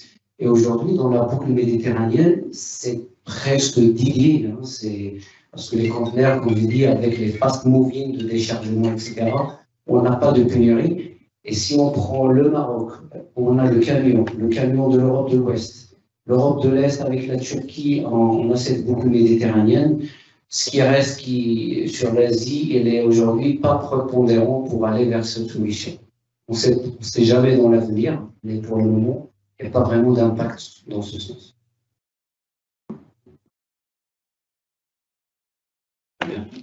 Une question. Monsieur Fahrem Safa, expert en transport et logistique. Alors, euh, ma question, c'est euh, aujourd'hui, le Maroc a toujours mal à sa logistique, apparemment. On, était, on a les fameux 20% logistiques. Je crois que maintenant, il faut recalculer ces, ces, ces 20%. Ils vont exploser la, la facture du prêt. Alors, euh, depuis 20 ans, on a, on, a, on a abordé la logistique du point de vue de l'infrastructure. C'est-à-dire qu'on on a beaucoup investi dans l'infrastructure, peut-être quelque chose comme 70 milliards, je dirais, les autoroutes, les TGV, les ports et tout ça. Et aujourd'hui, on a remarqué que ce n'était pas suffisant pour rendre notre logistique compétitive. Est-ce qu'on ne s'est pas trop focalisé sur l'infra et pas suffisamment sur euh, avoir de vrais acteurs logistiques marocains? On a à un moment donné dit que le maritime, ce n'était pas nécessaire et qu'on pouvait laisser mourir les pavillons marocains. Et aujourd'hui, on s'en mord les doigts. Alors qu'aujourd'hui, est-ce qu'il n'est pas le temps de revoir notre stratégie logistique pour avoir de vrais résultats? Merci. Je, peux répondre à cette question, mais vous avez tout à fait raison. Il ne pas de faire des routes. Il, la route, il faudrait la route qui est, qui est en bas, qui est sur, sur terre, mais il faut que quelqu'un puisse l'utiliser, mais l'utiliser d'une façon tout à fait optimisée. Nous avons besoin d'acteurs. Ça, c'est aussi. On, parlait tout à l'heure de créer, mais créer, il faut un climat pour créer. Il faudrait une structure pour créer. Nous avons le système logistique qui a, a, a réinventé Maroc. Euh, franchement, aussi. Vous parlez maintenant de l'international. Ceux qui travaillent sur le marché local, nous souffrons d'un problème de, de, manque de structure réellement solide de transport à l'intérieur. On utilise des cars. Au Maroc, on utilise encore CTM. Euh, euh, et, et, des acteurs qui sont aujourd'hui jeunes. Euh, nous avons besoin. Le Maroc ne peut pas être un pays industrialisé s'il n'a pas une, un secteur logistique interne-externe très fort. Euh, nous parlons tout à l'heure, mais les cas de Renault, Renault, euh, moi quand je parle de l'industrie, Renault c'est à part. Renault, la la force de frappe de Renault, l'organisation, les ressources humaines, c'est autre chose. Mais la PME PME aujourd'hui souffre de tout.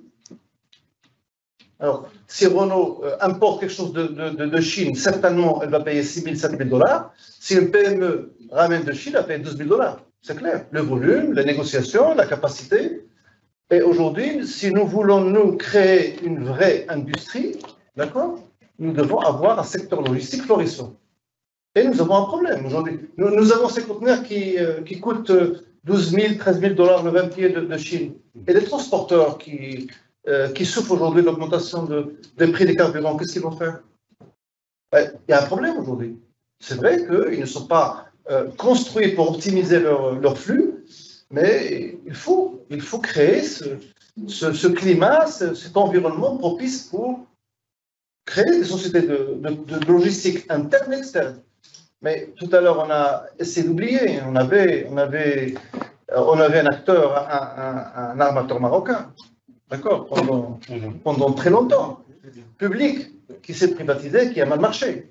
D'accord On sait que aujourd'hui, si le Maroc veut créer un armateur public, on sait qu'il sera condamné face à des géants comme Mexico, MSC, etc. C'est impossible. Il faut créer ces climats. On le sait. Alors aujourd'hui, dire euh, les prix sont élevés, je, je, suis aujourd'hui animateur, je ne suis pas intervenant. Euh, les, les prix sont élevés, les conteneurs pour créer une industrie locale. D'accord, mais où sont les matières premières? Ou la, la logistique interne, ou la formation? On apporte toute, la, matière première que nous, nos usines, euh, que nous utilisons, elle est apportée. Alors, le coût est là, dans l'import, dans la logistique externe. Donc, c'est beaucoup plus compliqué que ça, et c'est vrai. On a investi 70 milliards ou plus. euh, euh, il y a un port qui est extraordinaire, il y a des autoroutes, mais il faut aujourd'hui le soft, et le savoir, les, les- les compagnies, des structures qui euh, aident euh, le pays à se développer. Donc, c'est ce que nous voulons, nous cherchons à avoir. Est-ce que c'est simple Il faut lutter pour ça, c'est clair. On ne pourra pas être un pays au top niveau de l'industrie si on n'a pas un secteur logistique très développé et compétitif. compétitif. Nous avons fait, euh, au niveau de la CGM, une comparaison, comparaison des coûts logistiques entre une société installée à Tanger et une autre filiale, la même, le même groupe, Égypte, Roumanie et crois l'Angleterre. On a fait ce, calcul. Eh ben, les coûts logistiques à, à Tanger sont entre 15 et 25% plus chers. Il faut tout réinventer. Franchement, on peut avoir euh, une main-d'œuvre qualifiée, on peut avoir un, foncier de bonne qualité, euh, pas cher, etc. Il faudrait tous les, supports, on appelle ça des supports, qui soient, qui soient optimisés et qui soient compétitifs. C'est nécessaire. Et Renault, c'est la, c'est la, euh, c'est là une chaîne logistique euh, à côté qui est l'aide à améliorer ses coûts. Ils vont peut-être maintenir les prix des voitures pendant longtemps, euh, envahir les marchés là où ils ne sont pas présents. J'en sais rien. Je, je, je parle comme ça, mais c'est vrai. Vous avez touché, touché à une faiblesse marocaine. Beaucoup d'énergie aussi. Oui, on a parlé, oui. c'est l'industrie. L'énergie, ça fait des dizaines d'années qu'on en parle. Aujourd'hui, c'est même pas la peine de parler de l'énergie. Si on parle d'énergie, ils vont nous dire Ah, vous voyez, au Maroc, on n'a pas augmenté le kilowattheure euh, électrique. Alors, taisez-vous. Donc, on se tait aujourd'hui, on parle pas d'électricité.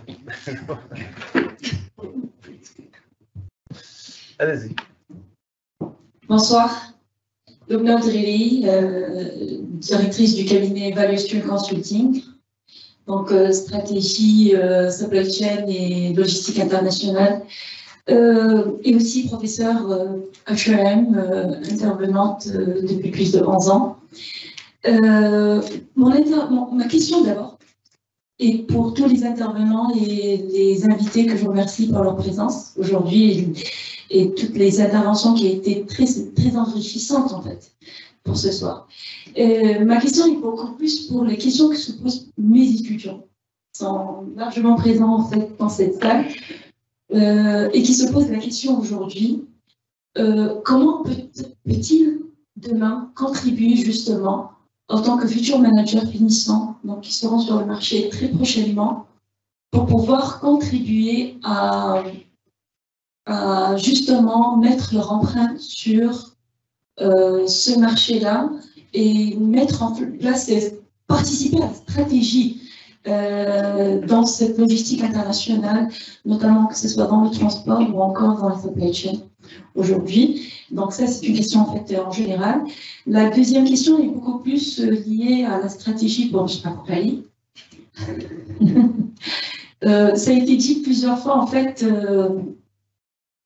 et euh, plusieurs, euh, à plusieurs reprises, vous avez évoqué le fait que le port de Tangemet n'a pas été impacté par cette situation-là. Maintenant, quelle est la stratégie euh, que le port a prévue pour, en fait, pour bénéficier, pour bénéficier bien sûr de cette situation aussi, mais également pour faire bénéficier aujourd'hui les PME et les PMI. On n'en a pas parlé d'eux ce soir.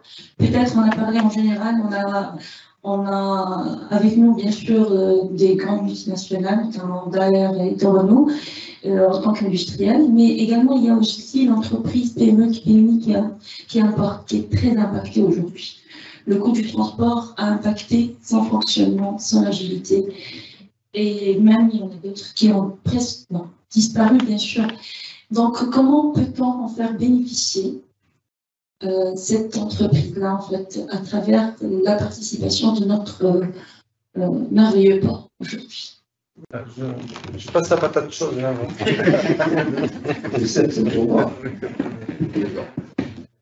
En fait, euh, c'est c'est une bonne question. En fait.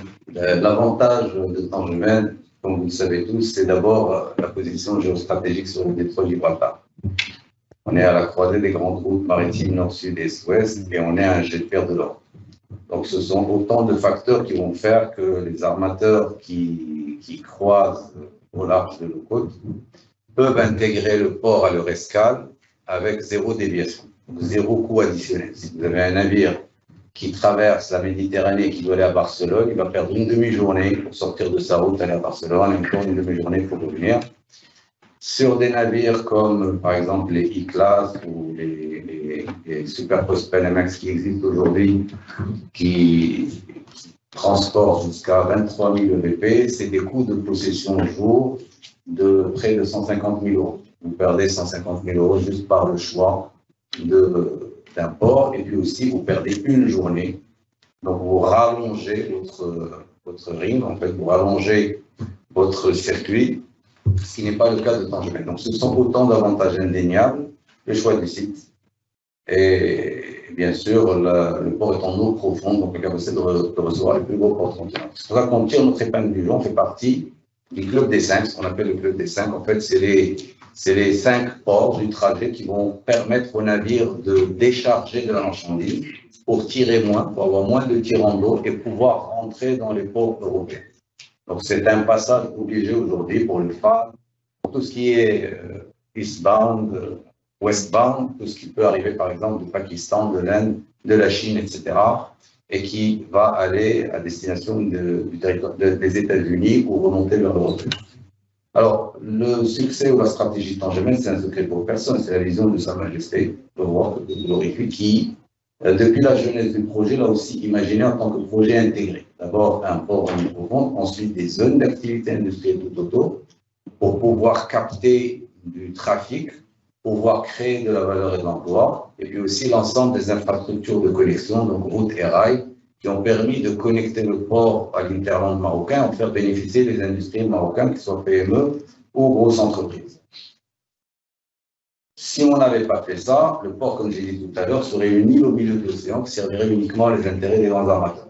Donc, deuxième avantage considérable, c'est que les ingénieurs ont préféré construire ce port sur l'Atlantique, parce que le terrain est plat, parce que le foncier est disponible, parce qu'il n'y a pas de, dégâts de surface, il n'y a pas de construction à casser, etc. Mais Sa Majesté a tenu à ce que ça soit au niveau du point le plus proche de l'eau. Et je pense que 50% du succès ou de la résilience du modèle aujourd'hui vient de, cet élément. Deuxième, euh, troisième élément aussi très important, c'est qu'en 2008, en pleine période de crise économique et financière, Sa Majesté a donné l'instruction pour qu'on lance Tangemet 2. Donc, contrairement à l'avis de tous nos experts et nos ingénieurs qui étaient là et qui disaient vous perdez de l'argent, vous allez faire des pistes d'atterrissage pour les mouettes, jamais vous dépasserez un million, etc. On a tout entendu, mais il fallait y croire. C'est un peu la même chose que pour l'armement, mais il fallait y croire.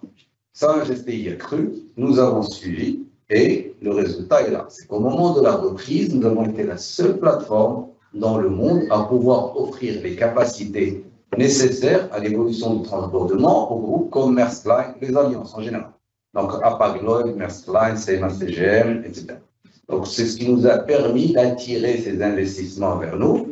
Et avec le démarrage de Tangemet 2 en 2019, on a mis sur le marché cette capacité de près de 5 millions de secours qui nous a permis de passer de 3,6 une année avant à 5,7 l'année dernière, il y a deux ans, et à 7,1 millions l'année dernière.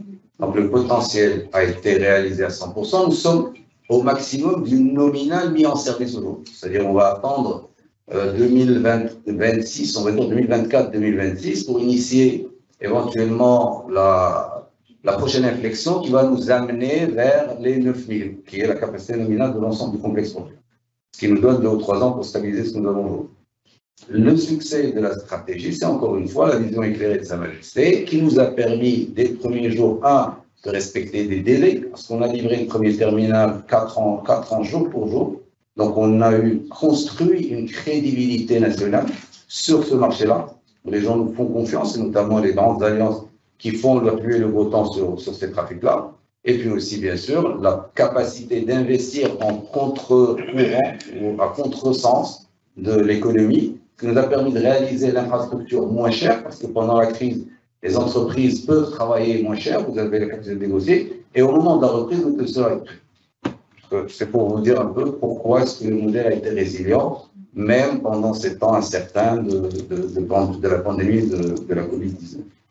Par rapport à, à, vos alumni, vos étudiants, bon, d'abord, c'est la logistique internationale est un métier qui est complexe, où il faut se donner le temps d'apprendre. Aujourd'hui, malheureusement, au niveau des recrutements, je parle de, ce que je dis, ne recrute que mon avis personnel.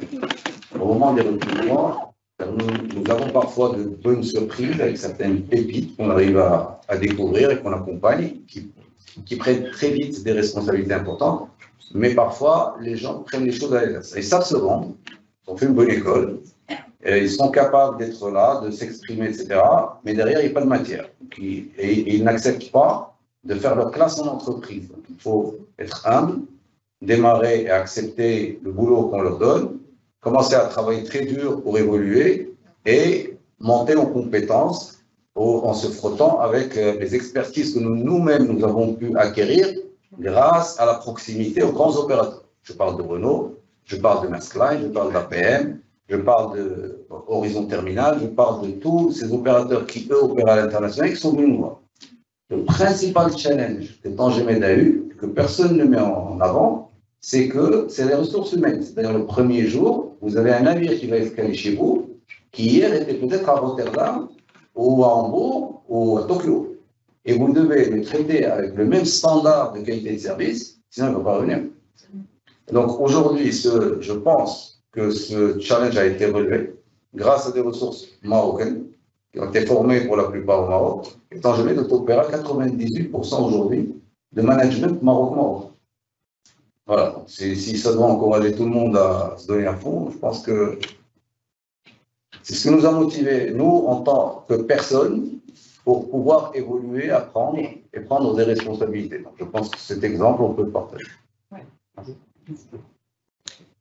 Euh, si vous permettez, juste euh, dans la même lancée, je suis entièrement d'accord sur les ressources humaines. Aujourd'hui, il y a un manque cruel des ressources au niveau du marché. Euh, les supply chains d'aujourd'hui ou bien les chaînes logistiques, ils sont désormais digitalisés et connectés. Les jeunes d'aujourd'hui, ils ont cette faculté, donc soigner, renforcer ce penchant vers tout ce qui est digital, tout ce qui est outils euh, de communication. Une dernière recommandation aussi, travaillez votre anglais parce que c'est la langue du métier. Euh, elle est mondiale et je suis complètement euh, d'accord avec Hassan. Euh, c'est la langue qui vous permettra d'apprendre, de communiquer. C'est en apprenant, en communiquant que voilà, vous allez forger une carrière en logistique. Et je profite de, la réponse, parce qu'aujourd'hui, vous, vous formez des cadres. Je pense c'est clair, mais le secteur, il manque aussi d'une autre catégorie des personnes c'est les conducteurs des camions. Et aujourd'hui, un conducteur de camion d'aujourd'hui, c'est pas comme le camion d'hier. C'est carrément une, machine, un camion d'aujourd'hui, avec plein de, fonctionnalités et tout ça. Il faut avoir cette conscience des impacts qu'un conducteur de camion qu'il a sur le coût, euh, rien par des comportements et un mindset un peu différent, mais aussi ça nous manque des conducteurs des moyens de manutention, ça nous manque des magasiniers, ça nous manque, etc., etc. Donc sur toute la chaîne, et le métier de la logistique, il y a cette richesse des métiers qui contribuent tous euh, euh, dans, toute la chaîne. Donc voilà, il y a des besoins des cadres, des managements. On a aussi la filière ingénierie logistique. On a besoin dans ce, pays-là de, de l'ingénierie logistique. Et aussi, il y a tous les aspects d'exploitation dont, on vient de, de parler. Juste. Toutes et à tous. complète ta réponse, après vous oui, la question. Deux phrases rapides, un conseil que je peux donner aux étudiants qui, souhaitent rentrer dans le domaine de la logistique et du transport international. C'est un métier effectivement très complexe, euh, compliqué, très riche, mais il faut beaucoup de patience beaucoup, de patience. Pour apprendre le métier, c'est pas en six mois, c'est pas en un an, c'est en trois ans, quatre ans, cinq ans. il faut vraiment venir faire tout, vraiment tout, partir de bas de l'échelle pour aller euh, peut-être euh, occuper des postes de, management. Il ne faut pas venir dire l'idée, moi je fais de la logistique, j'ai un master M2 ou M3 ou je ne sais pas, pour aller faire un DG d'un seul coup. Non, il faut beaucoup de patience, il faut apprendre le métier, c'est un métier très spécifique. Voilà. Je vais, je, je vais vous parler de l'exemple de l'Axer. Il y a, il y a, il y a 10 ans, l'Axer, le, le board était euh, quasiment à 70% euh, d'origine étrangère. Aujourd'hui, 100% du board est marocain. D'accord? Euh, Au Maroc. Et on a quelques exemples. Il y en a, il une qui est assise ici, donc on ne peut pas la nommer, mais qui est rentrée chez nous en tant que stagiaire il y a 7 ans. Aujourd'hui, elle est directrice régionale. Donc aujourd'hui, effectivement, il y a beaucoup de demandes. D'accord? Chez nous, on a besoin d'étudiants. Maintenant, il faut prendre le temps d'apprendre. Je suis tout à fait d'accord avec C- Hassan. Euh, c'est primordial. Et aujourd'hui, il y a plusieurs pistes à creuser, notamment tout, tout ce qui est coop, euh, alternance. Euh, c'est un modèle qui fonctionne super bien en Allemagne, en France aussi. C'est donner le temps aux jeunes d'apprendre. Et c'est un partenariat win-win, parce que nous aussi, on en a besoin. Nous aussi, on, on- veut passer beaucoup de temps à faire apprendre aux futurs employés. Parce que c'est un gagnant-gagnant. Quand quelqu'un vient chez nous à la fin de l'école et qu'on passe encore trois ans à lui apprendre un métier, ben, c'est trois ans qu'on perd et nous et lui. Donc forcément, il y a des choses à construire ensemble euh, en amont et il y a beaucoup de choses à, à faire au Maroc dans cette logistique. Pose votre question. Bonsoir. Euh, cinquième année euh, de HEM, euh, spécialité management international et logistique. Euh, je voulais vraiment rebondir euh, sur euh, le sujet en fait que le Maroc est un pays d'opportunités et aussi un carrefour au niveau, au niveau de cela. Vous avez dit comme quoi euh, il pourra avoir comme opportunité beaucoup d'arma- d'armateurs de taille. Je voudrais bien que vous rebondissiez sur cela. Qu'est-ce que vous voulez vraiment dire re- de, de taille? Euh, armateur ou transporteur? On parlait tout à l'heure de transport ou armateur. Armateur, c'est armateur. Transport. Non, non, mais on parlait de transport, qu'on parlait de logistique euh, transporteur euh, pour le marché intérieur et des transporteurs qui travaillent à l'international. Armateurs de taille, il n'y a pas beaucoup. hein, Ils, sont, maintenant très peu. euh, Tout à l'heure, on en parlait. Il y a une concentration énorme. Et le Maroc n'aura jamais des armateurs de taille. Donc, il faudrait être réaliste. euh, On avait, on avait qui, euh, qui a été, qui a fait son, qui a, qui a, disparu rapidement. Non, on parle de la taille, mais on parle des transporteurs. Il y a ici beaucoup de transporteurs internationaux qui sont là, dans la salle, qui peuvent parler aussi. Nous avons besoin de sociétés de transport qui soient bien structurées, qui, soient, euh, qui, ont, qui, doivent avoir une taille suffisamment grande pour pouvoir avoir des économies d'échelle et, et offrir des prix intéressants avec un service impeccable. Donc nous avons, les industries ont besoin de ça.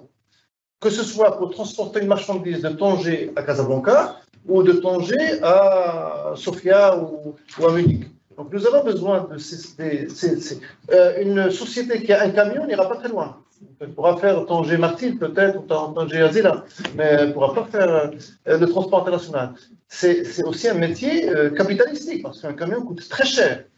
Et l'entretien des, camions coûte cher. La formation des, chauffeurs aujourd'hui coûte cher. On ne sait pas les chauffeurs de, des camions d'il y, a- il y a 20 ans, 30 ans, euh, c'est un problème euh, qu'on a soulevé. Les chauffeurs en France, il manque, je crois, 40 000 ou 50 000 cam- chauffeurs de camions. Et le camion aujourd'hui a besoin d'un chauffeur qui a un niveau. Il faut de la formation pour ce chauffeur, pas seulement des cadres et des directeurs logistiques. On doit essayer de s'intéresser à, des niveaux de fonction qui est inférieur, qui est aussi fondamental qu'un cadre. Une société qui n'a pas de chauffeur, elle peut avoir 50 di- directeurs, ils vont boire du café ensemble et discuter, mais la société ne tournera pas. Donc, quand on a parlé de taille, c'est nous avons besoin de sociétés de transport, de logisticiens qui soient bien structurés, bien organisés, qui ont les moyens financiers, qui ont un parc important et qui peuvent peut-être pas une société, mais euh, ils peuvent s'associer ensemble et travailler ensemble. Il y a mille façons de faire. Mais le Maroc ne, pourra pas prétendre euh, à, à un niveau d'industrie, de, de pays industrialisé s'il n'a pas un secteur logistique de transport développé. Il n'y a pas, il ne faut pas parler seulement de, de la société, il y a toute l'organisation intérieure, des procédures. On parle de la douane, on peut parler de la police, on peut parler des, des- routes, on peut parler du, coût de, de- du carburant. Tout ça, ce sont des problèmes, des ressources humaines, du système bancaire, on peut parler de tout cela. Donc une structure n'est pas seulement une décision de créer une, une boîte, et sur l'environnement qui lui permettra d'être une structure euh, euh, optimale, compétitive, etc. et réactive. C'est- plus complexe que ça. Mais on ne parle pas d'armateur. Armateur, c'est les bateaux. Armateur, et le Maroc ne peut pas avoir euh, un, armateur au niveau mondial comme euh, MSC, c'est impossible. Donc on n'a pas les moyens, et même les Américains n'en ont pas, à part les Chinois. Donc, euh, mais transport intérieur, euh, sport international, il y a des belles sociétés marocaines, surtout à l'international. Sur le marché intérieur, on dirait que comme c'est comme ça. Donc voilà. Euh, les transporteurs, c'est-à-dire les grands chefs de sociétés de transport sont là. Il y a deux grands, ils peuvent, euh, ils, ils peuvent, ils peuvent euh, compléter ce que je dis. Alors, il faut dire que l'histoire du transport international est, est jeune.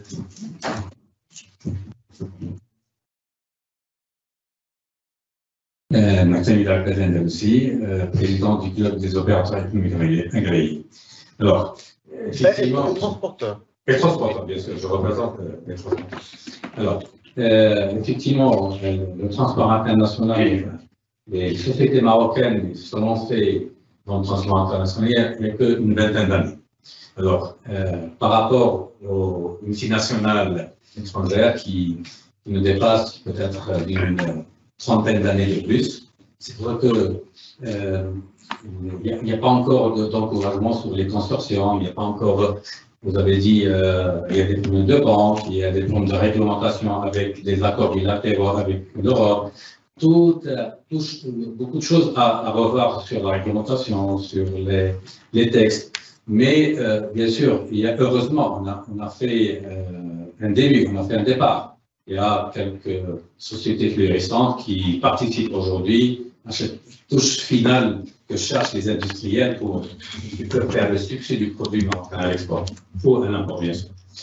Euh, effectivement, euh, ça n'empêche pas que euh, qu'il y ait euh, des initiatives un petit peu privées sur la construction, sur la mise à niveau de- des entreprises. Tout ça, aujourd'hui, c'est déjà un acquis. On a, on a quelques exemples de success story aujourd'hui sur lesquels on, peut être fier et qui participent aujourd'hui vraiment dans la logistique internationale du monde. Euh, bien sûr, euh, beaucoup de, choses à, mettre en place pour euh, impulser cette, ce, filière qui, soit au, au niveau de l'industrie automobile, l'industrie aéronautique, qui va plus rapidement à la mise à niveau de- des entreprises interna- internationales. Mais, comme vous avez dit, par rapport au tissu des transporteurs nationaux, euh, qu'on essaie de tirer haut aussi pour se mettre à niveau et répondre aux besoins, des industriels en termes de préservation de marchandises, en termes de respect de délai, en termes de tout ça. Euh, je- J'espère que ça va le dire euh, incessamment. Et bien sûr, euh, la mise à niveau au, euh, la me- mettre en compétence les, les chauffeurs aujourd'hui qui est un vrai handicap. Malheureusement, tout ce qui est euh, sur le marché pour que le, le chauffeur ait sa carte professionnelle, euh, aujourd'hui, il y a une formation initiale qui devait être de 30 jours ou même plus. Aujourd'hui, on l'a réduit à 10 jours. La formation euh, continue qui était de 10 jours, il est à, une journée ou deux jours. Ce qui fait beaucoup de choses peut-être à revoir, mais n'empêche que euh, on doit faire des efforts pour euh, combler tout, tout ce vide. Merci. Merci, merci, merci, merci. Euh, bah, euh, une question, pour compléter un peu, oui, je, je vais revenir à, pour compléter un peu, on, on a parlé maintenant de, du transport, je que il faudrait terminer la chaîne, faut parler de l'industrie logistique. Et c'est là où le, le Maroc a besoin de, de faire un effort complémentaire. Et là, je poserai la question à M. Simon qui est là, qui a vécu euh, l'industrie logistique à Singapour, en Asie. Que doit faire le Maroc? Quelles sont les faiblesses? Quelles sont les, observations que vous pouvez euh, nous, euh, nous produire ici?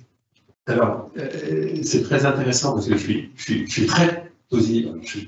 Je, me Simon, je suis, je suis en charge de la société San José Lopez et, je suis très positif par rapport aux opportunités du marché logistique sur le Maroc. Et, je l'ai vécu un petit peu par ailleurs, on est encore dans, dans un marché qui n'est pas forcément très mature, hein, euh, mais il y a énormément d'o- d'opportunités qui sont dictées aussi par, euh, par les coûts, hein, euh, les coûts euh, de, euh, de fret international, qui vont obliger euh, certaines industries à revoir leur supply chain. Alors, tout le monde s'est plaint aussi, effectivement, de, de la rareté des containers, etc. Mais, excusez-moi, monsieur les industriels, mais c'est aussi dicté par votre comportement très transactionnel.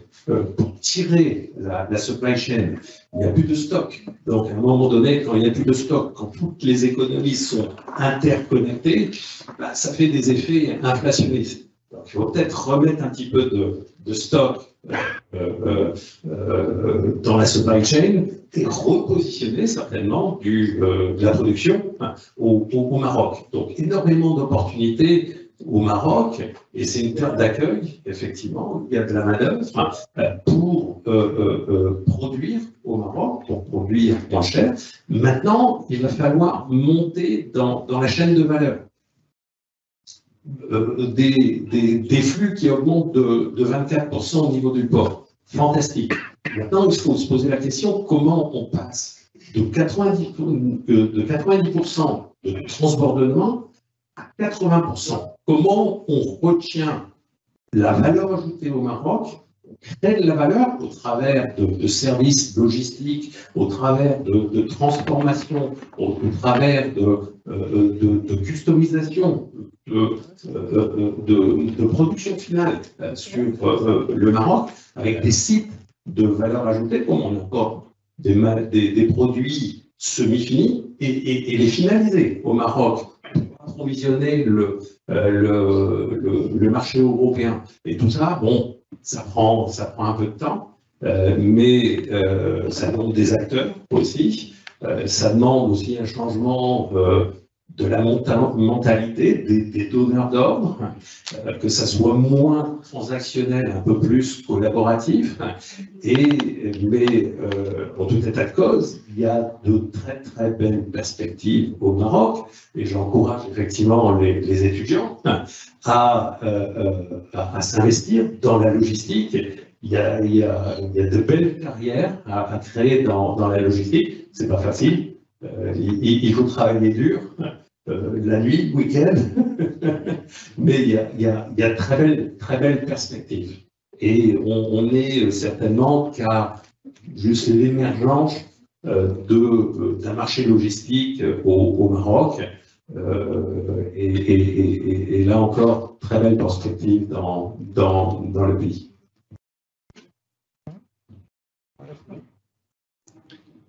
Une autre question? Ou, euh, Un apport ou...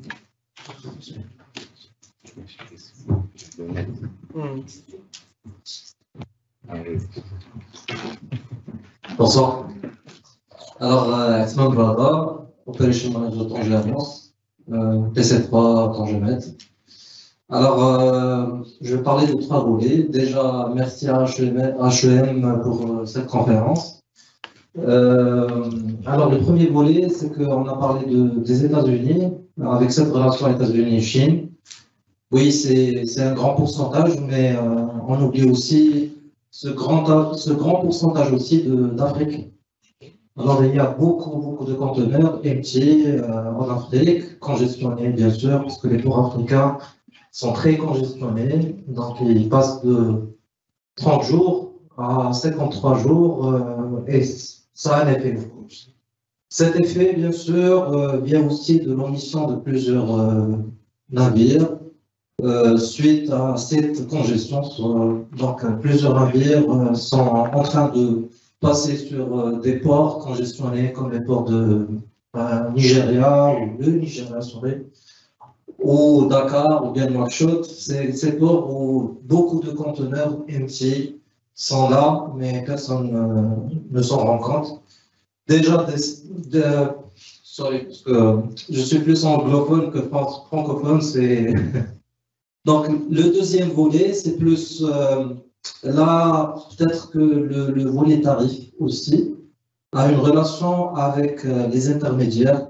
Euh, qui acte aussi sur euh, ce, prix-là qui, qui hausse. Et là, peut-être qu'après des années, on va voir des armateurs intégrés, tout le cycle intégré, comme Musk. Là, Musk est en train de travailler sur un circuit très intégré, une chaîne très intégrée, sans les fre- freight forwarders. Et là, ils sont en train de passer de des 20 000, euh, exactement 20 000 euros à 12 000 euros, ce qui fait, ce qui est une grande différence. Et là, on va parler d'une grande différence après de tarif. Et peut-être que c'est une solution pour, pour le futur. Le troisième volet est que, comme vous avez dit, euh, vous avez dit une, euh, une moyenne de 30 jours euh, de transit d'un conteneur qui est passé à presque 4 mois, peut-être à 112 jours exactement. Et pour, pour une solution à ça, ils ont fabriqué plus de, conteneurs. Donc, plus de conteneurs ont été construits, ils ont été mis dans le circuit. Mais la question qui se pose, et c'est une question pour vous, après cette crise, que faire de ces conteneurs? Parce que après cette crise, le circuit va revenir à 45 jours et en moyenne, veut dire qu'on aura plus de conteneurs.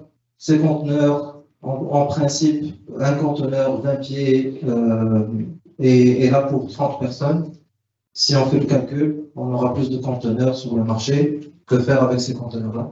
Déjà la première question. La deuxième question, ces conteneurs-là, euh, bien sûr, on aura plus euh, de, capacité et même les, les, frais des, navires vont être moins. Le prix va être euh, à, la baisse un jour, peut-être dans deux ans. Il faut être juste préparé. C'est c'est une vision futuriste et je vais attendre une réponse de votre Merci. Fait. Mais le conteneur, on a commencé à, à faire des maisons, des immeubles avec des conteneurs. On, on peut construire. Là où il y a un déficit de logement, on peut mettre des conteneurs. Est-ce qu'il y a des... Est-ce que quelqu'un veut apporter une réponse ou... Il y a une dernière question. Donc, euh, alors tout d'abord, c'est Sfezen, responsable de relations entreprises à HM Projet. J'aimerais tout d'abord remercier notre très cher intervenant, le cher invité d'avoir assisté à cette euh, conférence, à ce débat.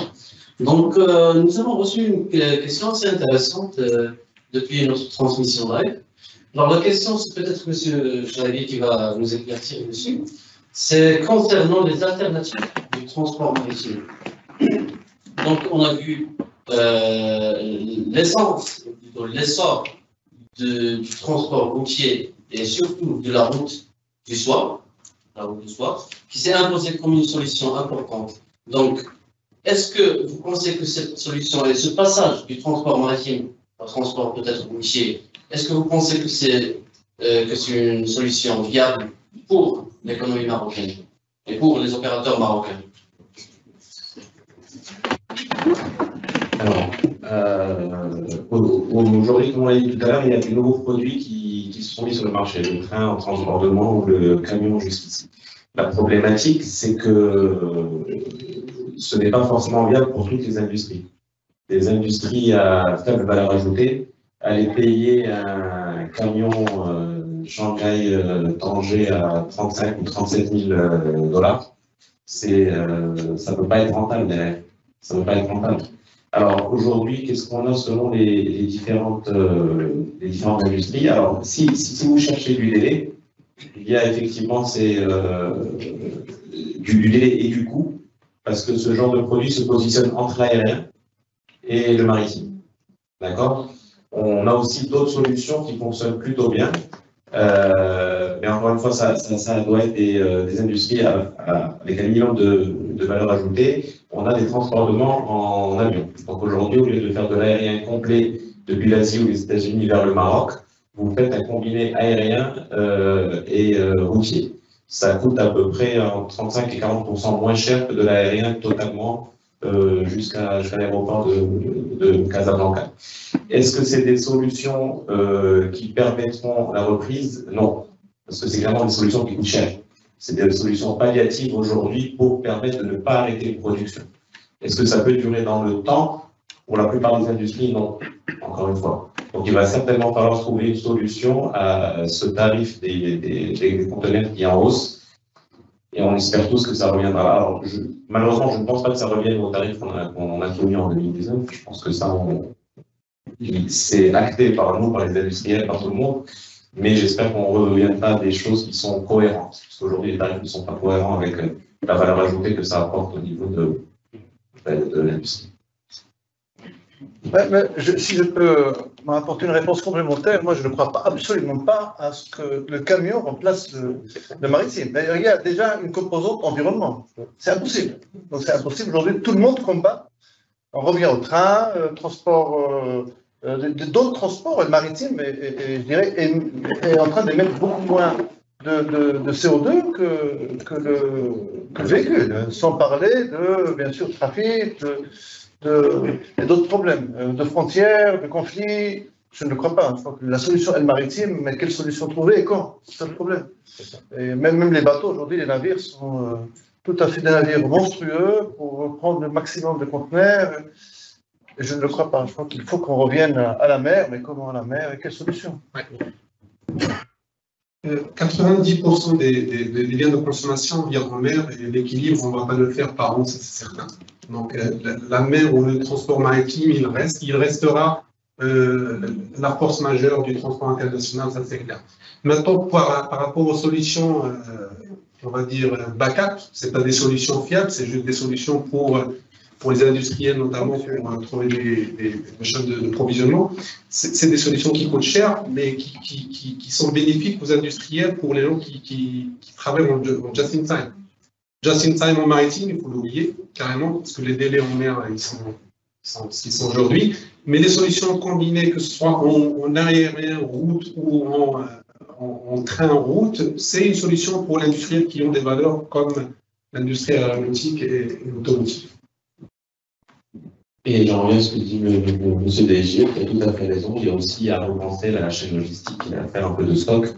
Parce qu'avoir du juste, de just in time aujourd'hui, c'est euh, utopique, mais ça coûte très très cher. Et donc euh, aujourd'hui, ça coûte moins cher d'avoir du stock que d'aller chercher du, du in time. Donc, il y a aussi quelque chose à repenser, faut qu'on se mette tous en cause, nous les, transporteurs, euh, les industriels, etc. Je pense que c'est un travail d'équipe.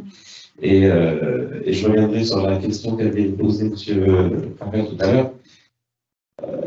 Je ne pense pas qu'on qu'on ait fait le mauvais choix d'investir dans l'infrastructure. Par contre, la problématique, c'est qu'on n'a pas fait les mêmes choix euh, sur la construction de la partie logistique au Maroc. Alors, il n'est pas trop tard, qu'on a beaucoup de compétences, on a des superbes entreprises euh, locales qui, qui font de l'international, mais, mais on a besoin d'une forte volonté euh, politique de, de structuration de ce, de, ce pan d'activité, parce qu'aujourd'hui, qu'est-ce qu'on fait? On, on répond de manière ad hoc. On a un problème, on va répondre à ce problème. On a un problème de, de local, on, y va. Et je reviens sur l'exemple que vous avez donné, quand je suis rentré il y a 10 ans au Maroc, euh, et jusqu'à aujourd'hui, il est beaucoup plus facile d'envoyer un colis à SPI avec un, un car qu'avec une entreprise de transport, ce qui, ce qui est hallucinant en 2022. Et, et, et aujourd'hui, on a les compétences au Maroc, on a tout ce qu'il faut. Il faut juste qu'on arrive à mettre tout ça en musique, et, et ça, ça manque cruellement aujourd'hui.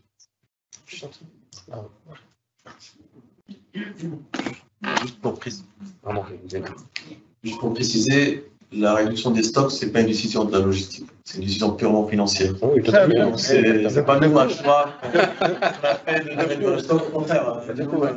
Si on peut augmenter un peu ça, nous enlèvera un peu de stress. C'est une dir- une directive financière importante.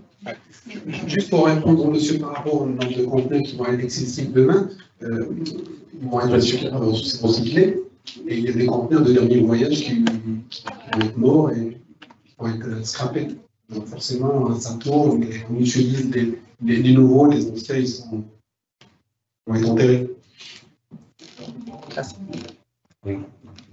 Alors, je voudrais juste rajouter un élément. Euh, vous avez raison, effectivement, en disant qu'il va falloir euh, stocker certaines matières premières, mais pas toutes, en fait, celles qui viennent de loin. Par exemple, euh, s'il y a un élément, je, voudrais revenir déjà sur l'exemple de la route méditerranéenne pour Renault, qui ne nécessite absolument aucun ajustement et pour laquelle donc, la visibilité en termes de délai de, livraison est très correcte. Et aujourd'hui, nous voyons donc avec une régularité exemplaire des navires qui ramènent les moteurs, qui sur, sur, par exemple la ligne de Stellantis ou sur euh, la ligne Tarkas qui délivre aussi des, des composants pour Renault, on a une régularité exemplaire et l'usine est livrée dans les délais, rien n'a changé. Par contre, sur les destinations lointaines, certes, il va falloir éventuellement prendre en compte ce, ce cycle qui s'est allongé et mettre les stocks en place. Après, il ne faut pas oublier que quand on parle d'une usine de 400 000 voitures, là je suis en train de dupliquer mon speech, quand on fait une usine de 400 000 voitures et qu'on négocie 1 euro la voiture, vous dites mais ça va, hein, ils font quand même des voitures de 1000 euros. Et ça fait 1 euro par voiture, ça fait 400 000 euros à la fin de l'année. Et donc derrière, quand vous, vous imaginez ça en stock, et tout est calculé au centime près, chaque véhicule correspond à un volume euh, de, matières premières emballées ou non emballées. Ils sont sur le détail des détails. Aujourd'hui, la compétitivité du Maroc sur le secteur de la voiture, c'est pas pas un fait du hasard. Nous sommes le deuxième pays le plus compétitif après l'Inde en termes de production de voitures. C'est parce que les chaînes logistiques sont parfaitement maîtrisées. Mais je vous rejoins sur, euh, sur les, importations qui viennent de loin, qui nécessiteront certainement un réajustement en termes de tension sur, euh, la chaîne d'approvisionnement. Euh, par rapport aux camions, euh, il faut savoir qu'un des impacts positifs de l'augmentation du prix du, conteneur se traduit aussi par un gain de compétitivité sur le camion. Le rayon d'action augmente.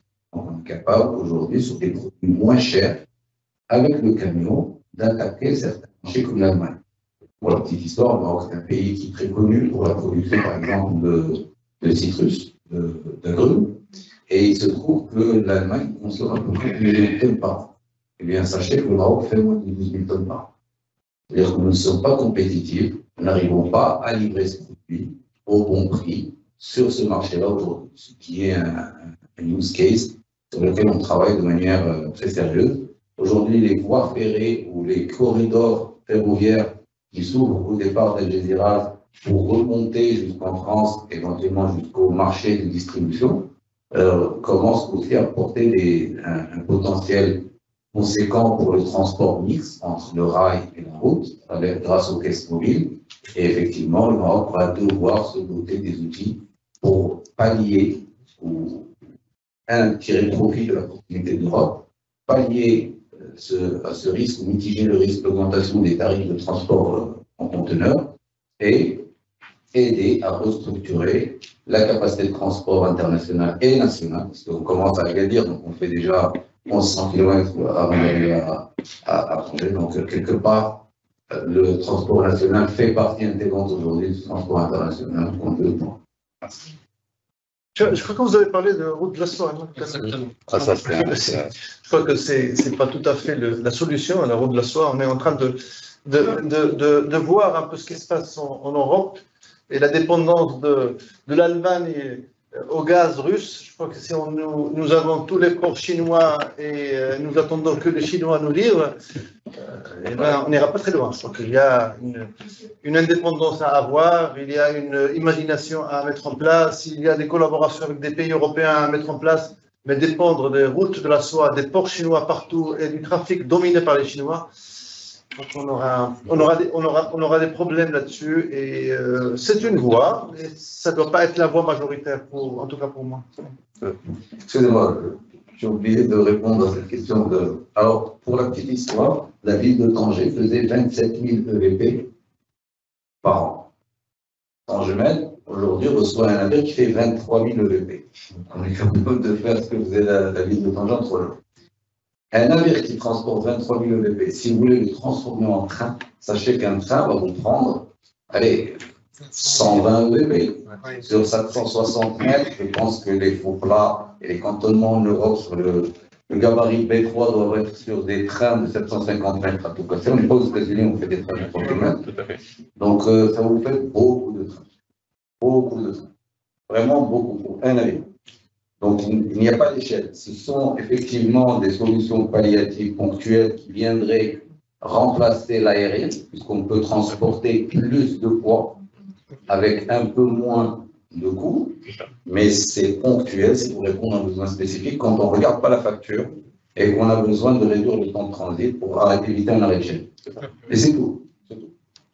jamais on arrivera à remplacer le maritime par, euh, par le train et même par euh, le camion, au-delà du périmètre d'influence du camion, que nous estimons à deux ou trois jours de, de temps de, de- de trajet maximum. Donc, on peut clôturer cette rencontre qui a été très intéressante, riche, des fois très technique, peut-être pour les gens, les étudiants, mais ça a été intéressant d'échanger, d'éclaircir euh, le pourquoi et comprendre un peu quelles sont les solutions pour, euh, pour l'avenir. Euh, je crois que tout le monde est relativement pessimiste sur la baisse des prix, malheureusement. Et euh, nous devons, oui, le Maroc aussi doit inventer ses solutions, doit essayer de, de permettre la création d'acteurs nationaux pour le transport euh, national, un armateur peut-être avec d'autres pays, pourquoi pas, hein, avec les pays arabes, avec, faut- il faut s'ouvrir. Hein. C'est pas une solution maroco-marocaine, ça peut pas être oui, avec l'Afrique, euh, avec d'autres pays, bien sûr, les pays arabes, et les, les Émirats, on ne sait jamais. Mais merci beaucoup, merci à tous les présents. Je remercie au panel et je remercie beaucoup HEM d'avoir organisé ça. Et je remercie aussi la CGM. Euh, si l'événement a réussi ce soir, c'est grâce à la collaboration de, des trois partenaires, CGM, Adenauer et HEM. Merci à vous. Et je tiens aussi à remercier toutes les personnes qui nous ont suivis en ligne, qui sont restées jusqu'à la fin. Et je voudrais m'excuser auprès de ceux à qui nous n'avons pas pu répondre à leurs questions. Euh, ça, ça aurait pris beaucoup plus de temps et on n'aurait pas terminé euh, avant 22 heures. Merci beaucoup. Merci à tous.